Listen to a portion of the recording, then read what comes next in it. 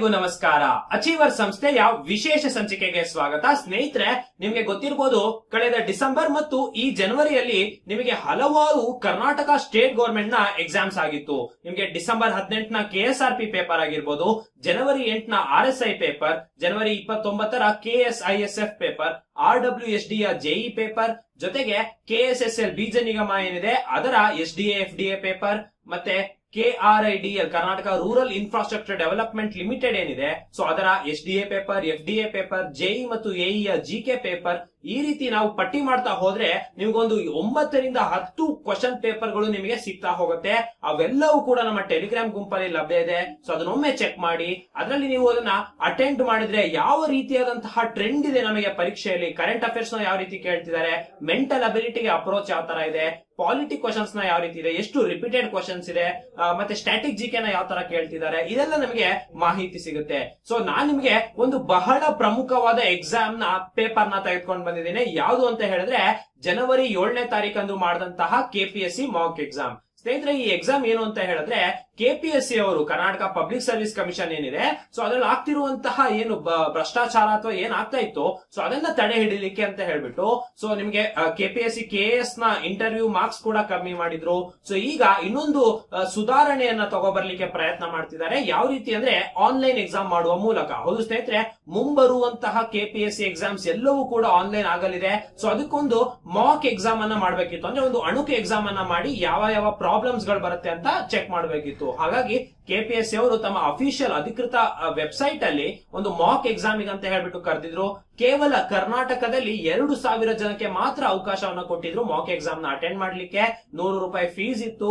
ಜನವರಿ ಏಳನೇ ತಾರೀಕು ಈ ಮಾಕ್ ಎಕ್ಸಾಮ್ ಆಗಿತ್ತು. ಇತ್ತೀಚೆಗಷ್ಟೇ ನಮಗೆ ಅದರ ರೆಸ್ಪಾನ್ಸ್ ಶೀಟ್ ಅನ್ನ ಬಿಟ್ಟಿದ್ರು. ಸೊ ಮಾಕ್ ಎಕ್ಸಾಮ್ ಮಾಡಿದ್ರೆ ಅದ್ರ ಯಾವ ರೀತಿ ಯಶಸ್ವಿ ಆಯ್ತು ಅಂದ್ರೆ, ಮುಂಬರುವಂತಹ ಯಾವುದೇ ಒಂದು ಎಕ್ಸಾಮ್ ಆಗಿರ್ಬೋದು ಕೆಪಿಎಸ್ಸಿ ಅಡಿಯಲ್ಲಿ ಗ್ರೂಪ್ ಬಿ ಗ್ರೂಪ್ ಸಿ ಅಥವಾ ಗ್ರೂಪ್ ಎ ಗ್ಯಾಸ್ಟ್ರೇಟ್ ಪ್ರೊಫೆಷನಲ್ ಇರ್ಬೋದು. ಸೊ ಎಲ್ಲ ಎಕ್ಸಾಮು ಕೂಡ ನಿಮಗೆ ಆನ್ಲೈನ್ ಅಲ್ಲಿ ಬರುತ್ತೆ. ಸೊ ಆನ್ಲೈನ್ ಅಲ್ಲಿ ಬಂದ್ರೆ ಒಂದು ಅವಶ್ಯಕ ಒಂದ್ ಏನಾಗುತ್ತೆ ಅಂತ ಹೇಳಿದ್ರೆ, ನಿಮಗೆ ಎಕ್ಸಾಮ್ಸ್ನಲ್ಲಿ ಪಾರದರ್ಶಕತೆ ಬರುತ್ತೆ, ಒಂದು ಟ್ರಾನ್ಸ್ಪರೆನ್ಸಿ ಅನ್ನೋದು ಸಿಗುತ್ತೆ, ಪ್ರತಿಯೊಬ್ಬ ಕ್ಯಾಂಡಿಡೇಟ್ಗೂ ತನ್ನ ರೆಸ್ಪಾನ್ಸ್ ಶೀಟ್ ಸಿಗುತ್ತೆ, ಮತ್ತೆ ಇದು ಶಿಫ್ಟ್ ವೈಸ್ ಅಲ್ಲಿ ಮಾಡೋದ್ರಿಂದ ಪೇಪರ್ಗಳು ಡಿಫರೆನ್ಸ್ ಆಗತ್ತೆ ಪೇಪರ್ನ ಟಫ್ನೆಸ್ ಜಾಸ್ತಿ ಆಗತ್ತೆ.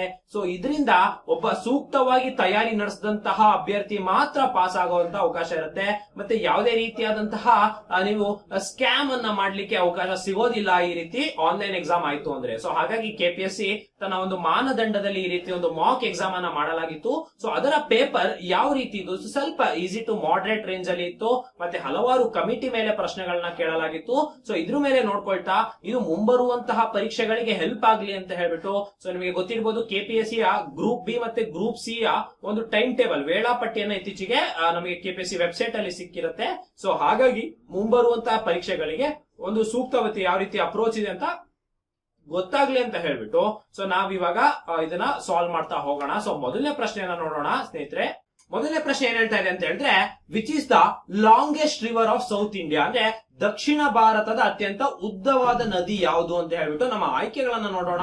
ನರ್ಮದಾ ನದಿ, ಕೃಷ್ಣಾ ನದಿ, ಗೋದಾವರಿ ನದಿ, ತಪ್ತಿ ನದಿ ಅಂತ ಹೇಳ್ಬಿಟ್ಟು. ಸೊ ಸರಿಯಾದ ಉತ್ತರ ಸ್ನೇಹಿತರೆ, ಇದಕ್ಕೆ ಗೋದಾವರಿ ಆಗಿರುತ್ತೆ. ಅಂದ್ರೆ ನಿಮ್ಗೆ ಕೊಟ್ಟಿರುವಂತಹ ನದಿಗಳಲ್ಲಿ ಕೇಳಲಾಗ್ತಾ ಇದೆ. ಸೊ ಗೋದಾವರಿ, ಇದಕ್ಕೆ ಸರಿಯಾದ ಉತ್ತರ ಆಗಿರುತ್ತೆ. ನೋಡಿ, ಇದೊಂದು ಪಾಲಿಟಿ ಪ್ರಶ್ನೆ. Which of the following languages was added to the list of regional languages by the twenty first amendment ಅಂದ್ರೆ, ಇಪ್ಪತ್ತೊಂದನೇ ತಿದ್ದುಪಡಿ ಮುಖಾಂತರ ನಮ್ಮ ಭಾರತದ ರೀಜನಲ್ ಲ್ಯಾಂಗ್ವೇಜ್ ಪಟ್ಟಿಗೆ, ಅಂದ್ರೆ ಲ್ಯಾಂಗ್ವೇಜ್ಗಳ ಪಟ್ಟಿಗೆ ಯಾವ ರೀಜನಲ್ ಲ್ಯಾಂಗ್ವೇಜ್ ಅನ್ನ ಆಡ್ ಮಾಡಲಾಗಿತ್ತು ಅಂತ ಹೇಳ್ಬಿಟ್ಟು so twenty first amendment act ಅಲ್ಲಿ ಯಾವ್ದನ್ನ ಮಾಡಿದ್ದಾರೆ ಅಂತ? ಒರಿಯಾ, ಕಾಶ್ಮೀರಿ, ಸಿಂಧಿ ಮತ್ತೆ ಅಸ್ಸಾಮೀಸ್. ಸ್ನೇಹಿತರೆ, ಇದಕ್ಕೆ ಸರಿಯಾದ ಉತ್ತರ ಬಂದ್ಬಿಟ್ಟು ನಿಮಗೆ ಸಿಂಧಿ ಲ್ಯಾಂಗ್ವೇಜ್ ಆಗಿರುತ್ತೆ. ಸೊ ಸಿಂಧಿ ಲ್ಯಾಂಗ್ವೇಜ್ನ ಟ್ವೆಂಟಿ ಫಿಫ್ತ್ ಅಮೆಂಡ್ಮೆಂಟ್ ಆಕ್ಟ್ ಅಲ್ಲಿ ನಮಗೆ ಆಡ್ ಮಾಡಲಾಗಿತ್ತು ಇದ್ರ ಬಗ್ಗೆ ನಿಮಗೆ ಮಾಹಿತಿಯಲ್ಲಿ ಮುಂದಿನ ಪ್ರಶ್ನೆ ನೋಡ್ತಾ ಹೋಗೋಣ. ಮುಂದಿನ ಪ್ರಶ್ನೆ department of science and technology organise Vaibhav summit along with which organisation ಅಂತ ಇದು ನಮ್ಮ ಸ್ಪರ್ಧಾ ಅಶ್ವಮೇಧ ಮಾಸಪತ್ರಿಕೆ ಏನಿದೆ, ಪ್ರಚಲಿತ ಘಟನೆಗಳ ಮಾಸಪತ್ರಿಕೆ ಏನಿದೆ, ಇದರಲ್ಲಿ ಈ ಪ್ರಶ್ನೆಗಳನ್ನ ಆಲ್ರೆಡಿ ಕೊಡಲಾಗಿತ್ತು. ಸೊ ಯಾರ್ಯಾರು ನೋಡಿರ್ತೀರಾ ಅವರಿಗೆ ಸುಲಭವಾಗಿ ಗೊತ್ತಾಗುತ್ತೆ. ಸರಿಯಾದ ಉತ್ತರ ಬಂದು ಡಿ ಆರ್ ಡಿ ಒ ಹೌದು ಸ್ನೇಹಿತರೆ ಡಿಆರ್ಡಿಒ ಮತ್ತು department of science and technology ಒಕ್ಕೂಟದಲ್ಲಿ ಈ ವೈಭವ್ ಅನ್ನೋ ಒಂದು ಸಮ್ಮಿಟ್ ಅನ್ನ ಇತ್ತೀಚೆಗೆ ಮಾಡಲಾಗಿತ್ತು ಅಂತ ಹೇಳ್ಬಿಟ್ಟು ತಿಳಿದಿರ್ಲಿ. ಮುಂದಿನ ಪ್ರಶ್ನೆ ನೋಡ್ತಾ ಹೋಗೋಣ. ಮುಂದಿನ ಪ್ರಶ್ನೆ in twenty twenty one twenty twenty two budget ಅಂದ್ರೆ ಇದು ಸ್ನೇಹಿತರೆ ಜನವರಿ ಏಳಕ್ಕೆ ಈ ಎಕ್ಸಾಮ್ ಆಗಿದ್ದು ಸೊ ಹಾಗಾಗಿ ನಮಗೆ ಇಪ್ಪತ್ತ ಎರಡು, ಇಪ್ಪತ್ತ ಮೂರರ ಸಾಲಿನ ನಮಗೆ ಬಜೆಟ್ ಮೇಲೆ ಕೇಳಲಾಗ್ತಾ ಇದೆ. ಬಟ್ ಮುಂಬರುವಂತಹ ಪರೀಕ್ಷೆಯಲ್ಲಿ ಈಗ ಫೆಬ್ರವರಿಯಲ್ಲಿ ಏನು ಕೇಂದ್ರ ಸರ್ಕಾರದ ಬಜೆಟ್ ಆಗಿತ್ತು, ಮತ್ತೆ ರಾಜ್ಯ ಸರ್ಕಾರದ ಬಜೆಟ್ ಇನ್ನೇನು ಆಗಲಿದೆ ಸೊ ಅದರ ಬಜೆಟ್ ಮತ್ತು ಎಕನಾಮಿಕ್ ಸರ್ವೆ ಮೇಲೆ ಪ್ರಶ್ನೆಗಳು ಬರೋದು ಸರ್ವೆ ಸಾಮಾನ್ಯ ಆಗಿದೆ ಸೊ ಇದು ತಿಳಿದಿರಲಿ. ಸೊ ಇದು ಇಪ್ಪತ್ತೊಂದು, ಇಪ್ಪತ್ತೆರಡು ಬಜೆಟ್ ಅಲ್ಲಿ ಯಾವ ಸೀನಿಯರ್ ಸಿಟಿಸನ್ಗೆ ಎಷ್ಟು ವರ್ಷದ ಮೇಲ್ಪಟ್ಟವರಿಗೆ ರಿಲ್ಯಾಕ್ಸೇಷನ್ ಕೊಟ್ಟಿದ್ದಾರೆ ಟ್ಯಾಕ್ಸ್ ರಿಟರ್ನ್ಸ್ ಅನ್ನ ಫೈಲ್ ಮಾಡೋದ್ರಲ್ಲಿ. ಅಂದ್ರೆ ಇಪ್ಪತ್ತೊಂದು, ಇಪ್ಪತ್ತೆರಡು ಬಜೆಟ್ನಲ್ಲಿ ಸೀನಿಯರ್ ಸಿಟಿಸನ್ಸ್ಗೆ ಎಷ್ಟು ವರ್ಷ ಮೇಲ್ಪಟ್ಟವರಿಗೆ ಟ್ಯಾಕ್ಸ್ ಅನ್ನ ತುಂಬೋದ್ರಲ್ಲಿ ರಿಲ್ಯಾಕ್ಸೇಷನ್ ಅನ್ನ ಕೊಟ್ಟಿದ್ದಾರೆ ಅಂತ ಹೇಳ್ಬಿಟ್ಟು, ಅರವತ್ತೈದು, ಅರವತ್ತೆಂಟು, ಎಪ್ಪತ್ತೆರಡು, ಎಪ್ಪತ್ತೈದು. ಸರಿಯಾದ ಉತ್ತರ ಬಂದು ಎಪ್ಪತ್ತೈದು ವರ್ಷ. ಹೌದು ಸ್ನೇಹಿತರೆ ಸೆವೆಂಟಿ ಫೈವ್ ಇಯರ್ಸ್ ಮೇಲ್ಪಟ್ಟವ್ರಿ ಅಂತವರಿಗೆ ಸೊ ಅವರಿಗೆ ಟ್ಯಾಕ್ಸ್ ರಿಟರ್ನ್ಸ್ ಅನ್ನ ಫೈಲ್ ಮಾಡುವಂತಿಲ್ಲ ಅಂತ ಹೇಳ್ಬಿಟ್ಟು ಕೊಟ್ಟಿದ್ದಾರೆ. ಇದೊಂದು ರಿಲ್ಯಾಕ್ಸೇಷನ್ ಅನ್ನ ಕೊಟ್ಟಿದ್ದಾರೆ ನಮ್ಮ twenty one twenty two budget ಅಲ್ಲಿ. ಮುಂದಿನ ಪ್ರಶ್ನೆ ನೋಡೋಣ. Which of the following was recommended by the committee headed by Kondoji Basappa ನೋಡಿ ಈ ಪರೀಕ್ಷೆಯಲ್ಲಿ ಪ್ರಮುಖವಾಗಿ ನಮಗೆ ಕಮಿಟಿಗಳ ಮೇಲೆ ಅಥವಾ ಸಮಿತಿಗಳು ಅಂತ ಏನ್ ಕರಿತೀವಿ, ಅದ್ರ ಮೇಲೆ ಹೆಚ್ಚು ಪ್ರಶ್ನೆಗಳನ್ನ ಕೇಳಲಾಗಿತ್ತು. ಸೊ ಹಾಗಾಗಿ ಸ್ನೇಹಿತರೆ, ಯಾರ್ಯಾರು ಓದ್ತಾ ಇದ್ದೀರಾ, ಯಾವಾಗ ಯಾವಾಗ ನಿಮಗೆ ಪಾಲಿಟಿಯಲ್ಲಿ ಓದ್ತಾ ಕಮಿಟಿಗಳು ಬರುತ್ತೆ, ಅದನ್ನೆಲ್ಲ ಒಂದ್ ಕಡೆ ಪಟ್ಟಿ ಮಾಡ್ಕೊಂಡ್ರಿ ಅಂದ್ರೆ ನಿಮ್ಗೆ ಪರೀಕ್ಷೆಯಲ್ಲಿ ಅದನ್ನ ರಿವಿಷನ್ ಮಾಡ್ಕೊಂಡು ಹೋಗ್ಲಿಕ್ಕೂ ಕೂಡ ಉಪಯುಕ್ತ ಆಗುತ್ತೆ, ಮತ್ತೆ ಪರೀಕ್ಷೆಯಲ್ಲಿ ಕೇಳಿದ್ರೆ ನೀವು ಸೂಕ್ತವಾಗಿ ಅದನ್ನ ತಯಾರಿ ಮಾಡಬಹುದು ನೋಡಿ ಜನರಲ್ ಆಗಿ ಕಮಿಟಿ ಬಗ್ಗೆ ಕೇಳಿದಾಗ ಅದು ಎಷ್ಟು ಸದಸ್ಯರ ಮಂದಿಯ ಒಂದು ಕಮಿಟಿ ಆಗಿದೆ. ಯಾವ ವರ್ಷ ರಚನೆ ಆಯ್ತು? ಯಾವುದರ ವಿರುದ್ಧ ರಚನೆ ಆಯ್ತು? ಮತ್ತೆ ಆ ಕಮಿಟಿ ಏನನ್ನ ಶಿಫಾರಸು ಮಾಡುತ್ತು ಅಂತ ಹೇಳ್ಬಿಟ್ಟು ಇಷ್ಟು ಕ್ವಶನ್ಸ್ನ ಒಂದು ಕಮಿಟಿ ಬೇಸ್ ಮೇಲೆ ಕೇಳ್ತಾರೆ. ಸೊ ಇಲ್ಲಿ ನೋಡಿ ಕೊಂಡೋಜಿ ಬಸಪ್ಪ ಕಮಿಟಿ ಅಡಿಯಲ್ಲಿ ಏನನ್ನ ಕೇಳಿದ್ದಾರೆ ಅಂತ ಹೇಳ್ಬಿಟ್ಟು development board of decentralisation greater port to taluka keeping M P and M L S out of the gram panchayat related affairs ಇವೆಲ್ಲದನ್ನ ಕೂಡ ನಮ್ಮ ಕಂಡೋಜಿ ಬಸಪ್ಪ ಕಮಿಟಿ ಅವರು ರೆಕಮೆಂಡ್ ಮಾಡಿದ್ರು. ಸೊ ಅದಕ್ಕೆ ಸರಿಯಾದ ಉತ್ತರ ಬಂದು option D all of these ಆಗಿರುತ್ತೆ. ಸೊ ಇದ್ರ ಬಗ್ಗೆ ತಿಳಿದಿರಲಿ ಮುಂದಿನ ಪ್ರಶ್ನೆ ನೋಡ್ತಾ ಹೋಗೋಣ. Which of the what is the full form of UN F C C ಅಂತ? ಯುಎನ್ ಎಫ್ ಸಿ ಸಿ ನಮ್ಗೆ ಬಹಳ ಸುದ್ದಿಯಲ್ಲಿ ಬರ್ತಾ ಇರುತ್ತೆ. ಅದರ ಫುಲ್ ಫಾರ್ಮ್ ಅನ್ನ ಕೇಳಿದರೆ, ಈ ರೀತಿ ಅಬ್ರಿವಿಯೇಷನ್ ಆಕ್ರೋನಿಮ್ ಅನ್ನ ಕೇಳುವಂತಹ ಒಂದು ಪ್ರತೀತಿ ನಮಗೆ ಎಲ್ಲ ಎಕ್ಸಾಮ್ಸ್ ನಲ್ಲೂ ಕಂಡು ಬರುತ್ತೆ. ಸೊ ಯಾವ್ದೇ ಒಂದು ನೀವು ಒಂದು ಸ್ಟ್ಯಾಟಿಕ್ ಜಿಕ್ಕೆ ಓದ್ತಾ, ಒಂದು ಅಬ್ರಿವಿಯೇಷನ್ಸ್ ಆಗಿರ್ಬೋದು ಆಕ್ರೋನಿಮ್ಸ್ ಆಗಿರ್ಬೋದು, ಅವೆರಡನ್ನ ನೀವು ಓದ್ಕೋಬೇಕಾಗತ್ತೆ. ನೋಡಿ U N F C C full form ಬಂದು United Nation framework convention on climate change ಅಂತ ಹೇಳ್ಬಿಟ್ಟು ಕ್ಲೈಮೇಟ್ ಚೇಂಜ್ ಮೇಲೆ ಇರುವಂತಹ ಒಂದು framework so U N F C C ಇದ್ರ ಬಗ್ಗೆ ತಿಳಿದಿರ್ಲಿ. ಇದೊಂದು ಗ್ಲೋಬಲ್ ವಾರ್ಮಿಂಗ್ ಕಂಡೀಷನ್ ಮೇಲೆ ಇರುವಂತಹ ಒಂದು ಕನ್ವೆನ್ಷನ್ ಸೊ ಇದ್ರ ಬಗ್ಗೆ ತಿಳಿದಿರ್ಲಿ. ಮುಂದಿನ ಪ್ರಶ್ನೆ ಇಲ್ಲಿ ನೋಡಿ ಒಂದು ಲೆಕ್ಕವನ್ನ ಕೊಟ್ಟಿದ್ದಾರೆ. ಸೊ ಮೆಂಟಲ್ ಅಬಿಲಿಟಿಯ ಪ್ರಶ್ನೆಗಳನ್ನು ನಿಮಗೆ ಕೇಳಲಾಗ್ತಿದೆ. ಮೂರು ನಂಬರ್ ಇದೆ. ಸೊ ಮೂರು number four is to five is to six ರೇಷಿಯೋದಲ್ಲಿದೆ so ಅದರ ಆವರೇಜ್ ಟ್ವೆಂಟಿ ಫೈವ್ ಇದೆ ಅಂತೆ ಸೊ ಹಾಗಾದ್ರೆ ಲಾರ್ಜೆಸ್ಟ್ ನಂಬರ್ ಎಷ್ಟು ಅಂತ ಕೇಳಲಾಗ್ತಾ ಇದೆ. ಸೊ ನೋಡಿ, ನಾನು ನಿಮಗೆ ಆ ಮೂರ್ ನಂಬರ್ ಗೊತ್ತಿಲ್ಲ. ಸೊ ಹಾಗಾಗಿ ನಾನು ಎ ಬಿ ಸಿ ಅಂತ ಬರ್ಕೊಳ್ತೀನಿ. Four A five B six C divided by three ಅಂತ ಬರ್ಕೊಳ್ತೀನಿ. ಯಾಕಂದ್ರೆ ಇಲ್ಲಿ ಕೊಟ್ಟಿರುವಂತದ್ದು ಆವರೇಜ್ ಅಂತ ಹೇಳಿದ್ದಾರೆ. So average twenty five so five three fifteen three two six plus one seventy five ನೋಡಿ, ಮೂರು ನಂಬರ್ ಸೇರಿದ್ರೆ ನಮಗೆ ಎಪ್ಪತ್ತೈದು ಬರ್ಬೇಕಂತೆ. ಸೊ ಹಾಗಾದ್ರೆ ನಮಗೆ ಯಾವ ರೀತಿ ಇರುತ್ತೆ ನಂಬರ್ ರೇಷಿಯೋದಲ್ಲಿ ಅಂತ ಅಂದ್ರೆ ಸೊ ಈ ರೀತಿ ಇರುತ್ತೆ ನಮಗೆ. ಸೊ ನೋಡಿ ಐದಿಂದ ನಾನು ಇದನ್ನ ಗುಣಿಸ್ತೀನಿ. ಸೊ ಅವಾಗ ಫೈವ್ ಸಿಕ್ಸ್ ಆ ತರ್ಟಿ ಫೈವ್ ಫೈವ್ ಆ ಟ್ವೆಂಟಿ ಫೈವ್ ಫೈವ್ ಫೋರ್ ಆ ಟ್ವೆಂಟಿ ಸೊ ಎರಡನ್ನ ಮೂರನ್ನ ಕೂಡಿದ್ರೆ ನಮಗೆ ಎಷ್ಟು ಬರ್ತಾ ಇದೆ? ಎಪ್ಪತ್ತೈದು ಬರ್ತಾ ಇದೆ. ಸೊ ಹಾಗಾದ್ರೆ ಇವು ಮೂರಲ್ಲಿ ಲಾರ್ಜೆಸ್ಟ್ ನಂಬರ್ ಎಷ್ಟು ನಮಗೆ? ಮೂವತ್ತು. ಸೊ ಹಾಗಾಗಿ ಸ್ನೇಹಿತರೆ, ಇದಕ್ಕೆ ಸರಿಯಾದ ಉತ್ತರ ಯಾವ್ದಾಗುತ್ತೆ ಅಂತ ಹೇಳಿದ್ರೆ ಆಪ್ಷನ್ ಎ ಮೂವತ್ತು ಆಗಿರುತ್ತೆ. ಸೊ ಈ ರೀತಿ ವೆಂಟಲಬಿಲಿಟಿ ಅಬಿಲಿಟಿ ಕ್ವಶನ್ ನಿಮಗೆ ಕೇಳಲಾಗ್ತಾ ಇದೆ. ಸೊ ರೇಷಿಯೋಗಳು ಬಗ್ಗೆ ಸ್ವಲ್ಪ ಹೆಚ್ಚು ಗಮನ ಕೊಡಿ. ಮುಂದಿನ ಪ್ರಶ್ನೆ ನೋಡ್ತಾ ಹೋಗೋಣ. ಸಾಂತಾನಂ ಕಮಿಟಿ ಪರ್ಟೆನ್ಸ್ ಟು ನೋಡಿ, ನಾನು ಅವಾಗ್ಲೇ ಹೇಳಿದೆ, ಸಮಿತಿಗಳ ಮೇಲೆ ಹೆಚ್ಚು ಪ್ರಶ್ನೆಗಳಾಗಿದೆ ಅಂತ. ಇಲ್ಲಿ ಕೂಡ ಒಂದು ಕೊಟ್ಟಿದ್ದಾರೆ ಸಾಂತಾನಂ ಕಮಿಟಿ. ಸರಿಯಾದ ಉತ್ತರ ಬಂದು ಆಂಟಿ ಕರಪ್ಷನ್ ಆಗಿರುತ್ತೆ. ಸೊ ಇದ್ರ ಬಗ್ಗೆ ತಿಳಿದಿರ್ಲಿ. ಮುಂದಿನ ಪ್ರಶ್ನೆಯನ್ನ ನೋಡ್ತಾ ಹೋಗೋಣ. ಮುಂದಿನ ಪ್ರಶ್ನೆ in which of the following is a nodal agency implementing all state and central housing schemes in Karnataka ಅಂತ ಹೇಳ್ಬಿಟ್ಟು. ಸೊ ನೋಡಿ ಇದೊಂದು ನಮ್ಮ ಹೌಸಿಂಗ್ ಸ್ಕೀಮ್ಗಳೇನಿದೆ ಕರ್ನಾಟಕದಲ್ಲಿ, ಯಾವ್ದಕ್ಕೆ ಸ್ಟೇಟ್ ಮತ್ತೆ ಸೆಂಟ್ರಲ್ ಎರಡೂ ಕೂಡ ನಮಗೆ ಒಂದು ಒಂದು ಇಂಪ್ಲಿಮೆಂಟ್ ಮಾಡ್ಲಿಕ್ಕೆ ಮಾಡುತ್ತೆ ಅಂತ ಹೇಳ್ಬಿಟ್ಟು ಸೊ ಸರಿಯಾದ ಉತ್ತರ ಬಂದಿದ್ದಕ್ಕೆ Rajiv Gandhi rural housing corporation ಆಗಿರುತ್ತೆ. ಸೊ ನೀವು ಮಹಾತ್ಮ ಗಾಂಧಿ ಅಥವಾ ಇಂದಿರಾ ಗಾಂಧಿ ಅಂತ ಅಂದ್ರೆ ತಪ್ಪಾಗತ್ತೆ. ಕರ್ನಾಟಕ ಹೌಸಿಂಗ್ ಬೋರ್ಡ್ ಕೂಡ ಅಲ್ಲ. ಸರಿಯಾದ ಉತ್ತರ ಬಂದು Rajiv Gandhi rural housing corporation ಇದರ ಅಡಿಯಲ್ಲಿ ಸ್ಟೇಟ್ ಮತ್ತೆ ಸೆಂಟ್ರಲ್ ಅಲ್ಲಿ ನಮಗೆ ನೋಡಲ್ ಏಜೆನ್ಸಿ ಆಗಿ ಕೆಲಸ ಮಾಡುತ್ತೆ. ಮುಂದಿನ ಪ್ರಶ್ನೆ ನೋಡೋಣ. ಸನ್ ಸ್ಪಾಟ್ಸ್ ಅಲ್ಲಿ surface of the sun sir ಅಂದ್ರೆ ನೀವು ನೋಡಿರ್ತೀರಾ ಸೂರ್ಯದಲ್ಲಿ ಇರುತ್ತೆ ಸೂರ್ಯದಲ್ಲಿ ನಿಮಗೆ ಗೊತ್ತಿರುತ್ತೆ, ಅದು ನ್ಯೂಕ್ಲಿಯರ್ ಫ್ಯೂಷನ್ ರಿಯಾಕ್ಷನ್ ಆಗಿ ಹೈಡ್ರೋಜನ್ ಒಂದು ಹೀಲಿಯಂ ಆಗ್ತಾ ಇರುತ್ತೆ. ಸೊ ಹಾಗಾಗೇನೆ ಅಲ್ಲಿ ಬೆಂಕಿಯ ಜ್ವಾಲೆಗಳು ಬರ್ತಾ ಇರುತ್ತೆ. ಸೊ ಆದ್ರೆ ನೀವು ಸೂರ್ಯವನ್ನ ಗಮನಿಸಿದ್ರೆ ಮಧ್ಯ ಮಧ್ಯದಲ್ಲಿ ಕಪ್ಪು ಕಪ್ಪು ಚುಕ್ಕಿಗಳು ಬರ್ತಾ ಇರುತ್ತೆ. ಸೊ ಹಾಗಾದ್ರೆ ಈ ಕಪ್ಪು ಚುಕ್ಕಿಗಳನ್ನ ಸನ್ ಸ್ಪಾಟ್ಸ್ ಅಂತ ಏನ್ ಕರಿತೇವೆ?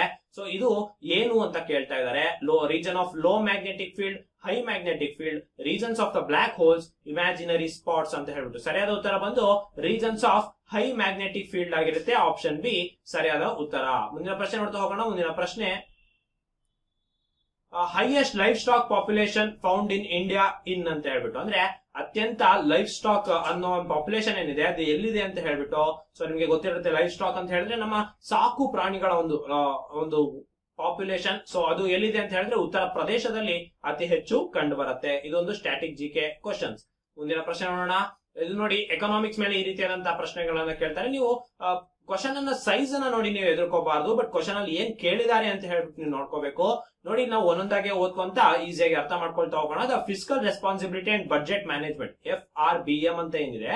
So committee report recommended a depth of P ratio sixty percent for the general combined government by two thousand twenty three so comprising forty percent of the central government and twenty percent of the state government ನೋಡಿ, ಒಂದು combined government ಡೆಪ್ಟ್ G D P ಪ್ರಕಾರ ಅರವತ್ತು percent ಸಾಲದಲ್ಲಿ ನಲವತ್ತು percent central government ಇಪ್ಪತ್ತು percent state government ಇರುತ್ತಂತೆ. So central government has domestic liabilities of twenty one percent of G D P as compare to that of nine forty nine percent G D P of the state government ಎರಡನೇ statement ಹೇಳ್ತಾ ಇದೆ.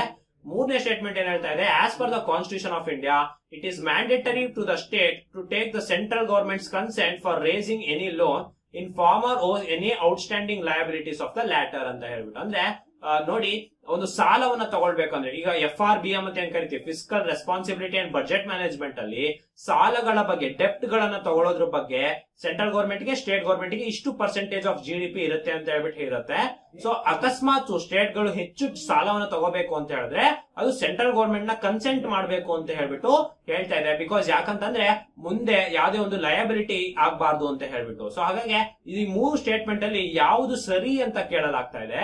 So ಇದಕ್ಕೆ ಸರಿಯಾದ ಉತ್ತರ ಬಂದು ಮಧ್ಯದ statement ಏನಿದೆ, ಇದು ತಪ್ಪಾಗುತ್ತೆ. ಯಾಕಂದ್ರೆ ಡೊಮೆಸ್ಟಿಕ್ ಲಯಬಿಲಿಟೀಸ್ ಇಪ್ಪತ್ತೊಂದು percent of G D P ನಮ್ಮ central ಗೌರ್ಮೆಂಟ್ಗೂ forty nine percent of state government ಇಲ್ಲ ಆಗಿರುತ್ತೆ. ಸೊ ಹಾಗಾಗಿ ಎರಡನೇ ಸ್ಟೇಟ್ಮೆಂಟ್ ತಪ್ಪಾಗಿರುತ್ತೆ. ಮೊದಲನೇದು, ಮತ್ತೆ ಮೂರನೇ ಸ್ಟೇಟ್ಮೆಂಟ್ ಸರಿ ಇರುತ್ತೆ. ಎ ಅಂಡ್ ಸಿ ಓನ್ಲಿ ಸರಿಯಾದ ಉತ್ತರ. ಮುಂದಿನ ಪ್ರಶ್ನೆ ನೋಡ್ತಾ ಹೋಗೋಣ. ಮುಂದಿನ ಪ್ರಶ್ನೆ, ನೋಡಿ ಎಕನಾಮಿಕ್ಸ್ ನಾನು ಇವಾಗ ಹೇಳ್ತಾ ಇದ್ದೆ. ಎಕನಾಮಿಕ್ಸ್ನಲ್ಲಿ ನಿಮಗೆ ಟರ್ಮಿನಾಲಜಿಸ್ ಆಗಿರ್ಬೋದು, ಅಥವಾ ಎಕನಾಮಿಕ್ಸ್ ಅನ್ನ ಸ್ವಲ್ಪ ಆಳದಲ್ಲಿ, ಇವಾಗ ಜಿ ಡಿ ಪಿಗೂ ಜಿ ವಿ ಎಗೂ ಏನ್ ಡಿಫ್ರೆನ್ಸ್ ಎನ್ ಎನ್ ಪಿಗೂ ಏನ್ ಡಿಫ್ರೆನ್ಸ್ ಈ ರೀತಿಯಾದಂತಹ ವಿಚಾರಗಳನ್ನ ನೀವು ತಿಳ್ಕೋಬೇಕು. ಸ್ವಲ್ಪ ಅದರ ಅರ್ಥ ಅಂಡರ್ಸ್ಟ್ಯಾಂಡಿಂಗ್ ನಾಲೆಜ್ ಅನ್ನ ತಿಳ್ಕೊಂಡ್ರೆ ಈ ರೀತಿ ಸ್ಟೇಟ್ಮೆಂಟ್ ಟೈಪ್ ಆಫ್ ಕ್ವಶನ್ಸ್ ಬಂದಾಗ ನೀವು ಈಸಿಯಾಗಿ ಎದುರಿಸಬಹುದಾಗಿರುತ್ತೆ. ಸೊ ನೋಡಿ ಮುಂದೆ ಒಂದು ನಮಗೆ ಮ್ಯಾಸ್ ಆಫ್ ಫಾಲಿಂಗ್ ಅನ್ನ ಕೊಟ್ಟಿದ್ದಾರೆ. ಈ ಕಡೆ ಬ್ರೀಡ್ಸ್ ಆಫ್ ಕ್ಯಾಟಲ್ ಅಂದ್ರೆ ಒಂದು ಹಸುವಿನ ತಳಿಗಳನ್ನ ಕೊಟ್ಟಿದ್ದಾರೆ. ಈ ಕಡೆ ಅದರ ಹೋಮ್ ಲ್ಯಾಂಡ್ ಅನ್ನ ಕೊಟ್ಟಿದ್ದಾರೆ. ನೋಡಿ Holstein Friesian Jersey Ayrshire Brown Swiss ಈ ತರ ನಮಗೆ ಹಸುವಿನ ತಳಿಯನ್ನ ಕೊಟ್ಟಿದ್ದಾರೆ. ಈ ಕಡೆ Scotland Switzerland Channel Island Netherland ಅಂತ ಹೇಳ್ಬಿಟ್ಟು ಅದು ಮೂಲ ದೇಶವನ್ನ ಕೊಟ್ಟಿದ್ದಾರೆ. ಸೊ ಈ ರೀತಿ ಕೊಟ್ಟಾಗ ನೀವು ಒಂದೇನ್ ಗಮನಿಸಬಹುದು ಅಂತ ಹೇಳಿದ್ರೆ ಸೊ ಒಂದು ಅಕಸ್ಮಾತ್ ನಿಮ್ಗೆ ಆನ್ಸರ್ ಗೊತ್ತಾಯ್ತಂದ್ರೆ ಉಳಿದಿದ್ದನ್ನೆಲ್ಲ ನೀವು ಕಂಡುಹಿಡಿಬಹುದಾಗಿರುತ್ತೆ ಸೊ ಸ್ನೇಹಿತರೆ ನಿಮಗೆ ನೋಡಿರ್ಬೋದು ಇಲ್ಲಿ ನೀವು ಗಮನಿಸಿದ್ರೆ ಬ್ರೌನ್ ಸ್ವಿಸ್ ಅಂತ ಹೇಳ್ಬಿಟ್ಟು ಒಂದು ಹಸುವಿನ ತಳಿ ಏನಿದೆ, ಸ್ವಿಸ್ ಅಂತ ಬಂದಿರೋದ್ರಿಂದ ಅದು ಸ್ವಿಟ್ಜರ್ಲ್ಯಾಂಡ್ಗೆ ಸೇರ್ಬೋದು ಅಂತ ನೀವು ಗೆಸ್ ಮಾಡಿದ್ರಿ ಅಂತ ಹೇಳಿದ್ರೆ, ಅಂದ್ರೆ ಡಿ ಗೆ ಟೂ ಇರ್ಬೇಕಾಗತ್ತೆ. ಸೊ ಡಿ ಗೆ ಟೂ ಇರುವಂತಹ ಎರಡು ಆಪ್ಷನ್ ಇದೆ ನಮ್ಮಲ್ಲಿ. ಸೊ ಇವೆರಡು ಆಪ್ಷನ್ ಎಲಿಮಿನೇಟ್ ಆಗತ್ತೆ. ಸೊ ಇನ್ನೊಂದು ನಿಮಗೆ ಜರ್ಸಿ ಹಸುಗಳು ನಿಮಗೆ ಗೊತ್ತಿರುತ್ತೆ. ಸೊ ಜರ್ಸಿ ಹಸುಗಳು ನಿಮಗೆ ಚಾನಲ್ ಐಲ್ಯಾಂಡ್ ಇಂದ ನಮಗೆ ತೆಗೆದುಕೊ ಬಂದಿರೋದಾಗಿರುತ್ತೆ ಸೊ ಹಾಗಾಗಿ ನಿಮಗೆ A four B three C one ಮತ್ತೆ ಡಿ ಟೂ ಈ ರೀತಿ ನಿಮಗೆ ಒಂದು ಆಗತ್ತೆ.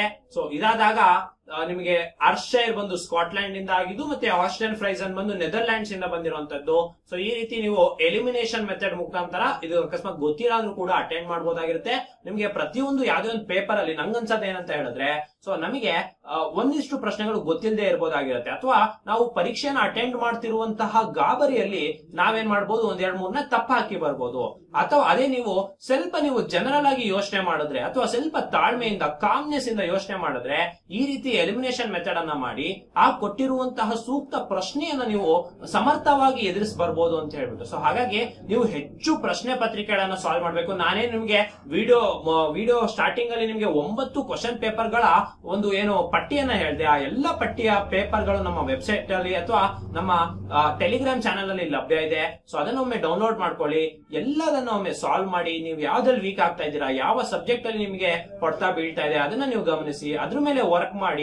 ಸೊ ಮುಂಬರುವಂತಹ ಪರೀಕ್ಷೆ ಪಿ ಸಿ ಆಗಿರ್ಬೋದು ಅಥವಾ ಯಾವುದೇ ಕೆಪಿಸಿ ಎಕ್ಸಾಮ್ಸ್ ಆಗಿರ್ಬೋದು. ಸೊ ಅದನ್ನ ನಿಖರವಾಗಿ ಅಥವಾ ಪಕ್ಕಾ ಈ ಬಾರಿ ಜಾಬ್ ಆಗ್ಬೇಕು ಅನ್ನೋ ರೀತಿ ಓದಿ ಡೆಡಿಕೇಟೆಡ್ ಆಗಿ ಓದಿ ಓರಿಯೆಂಟೆಡ್ ಟುವರ್ಡ್ಸ್ ಆ ಎಕ್ಸಾಮ್ ಓದಿ. ಸೊ ಆಗ ನಿಮಗೆ ಪರೀಕ್ಷೆಯಲ್ಲಿ ಉತ್ತೀರ್ಣರಾಗ್ತೀರಾ? ಮುಂದಿನ ಪ್ರಶ್ನೆ ನೋಡ್ತಾ ಹೋಗೋಣ. ಮುಂದಿನ ಪ್ರಶ್ನೆ, ನೋಡಿ, ಇದೊಂದು ನಮ್ಮ ಕರ್ನಾಟಕ ಇತಿಹಾಸದ ಕ್ವಶನ್ ನಮ್ಮ ಕರ್ನಾಟಕ ಇತಿಹಾಸದಲ್ಲಿ ನೋಡಿ ಏನ್ ಕೇಳಿದಾರೆ ಅಂದ್ರೆ ಚಿಕ್ಕ ದೇವರಾಜ ಒಡೆಯರಿಗೆ ಯಾವ ಮೊಘಲ್ ದೊರೆ ರಾಜ ಜಗದೇವ ಅಂತ ಹೇಳ್ಬಿಟ್ಟು ಬಿರುದ್ನ ಕೊಟ್ಟಿದ್ದಾರೆ ಅಂತ ಹೇಳ್ಬಿಟ್ಟು ಇದು ಹಲವಾರು ನೋಟ್ಸ್ಗಳಲ್ಲಿ ಇಲ್ಲ.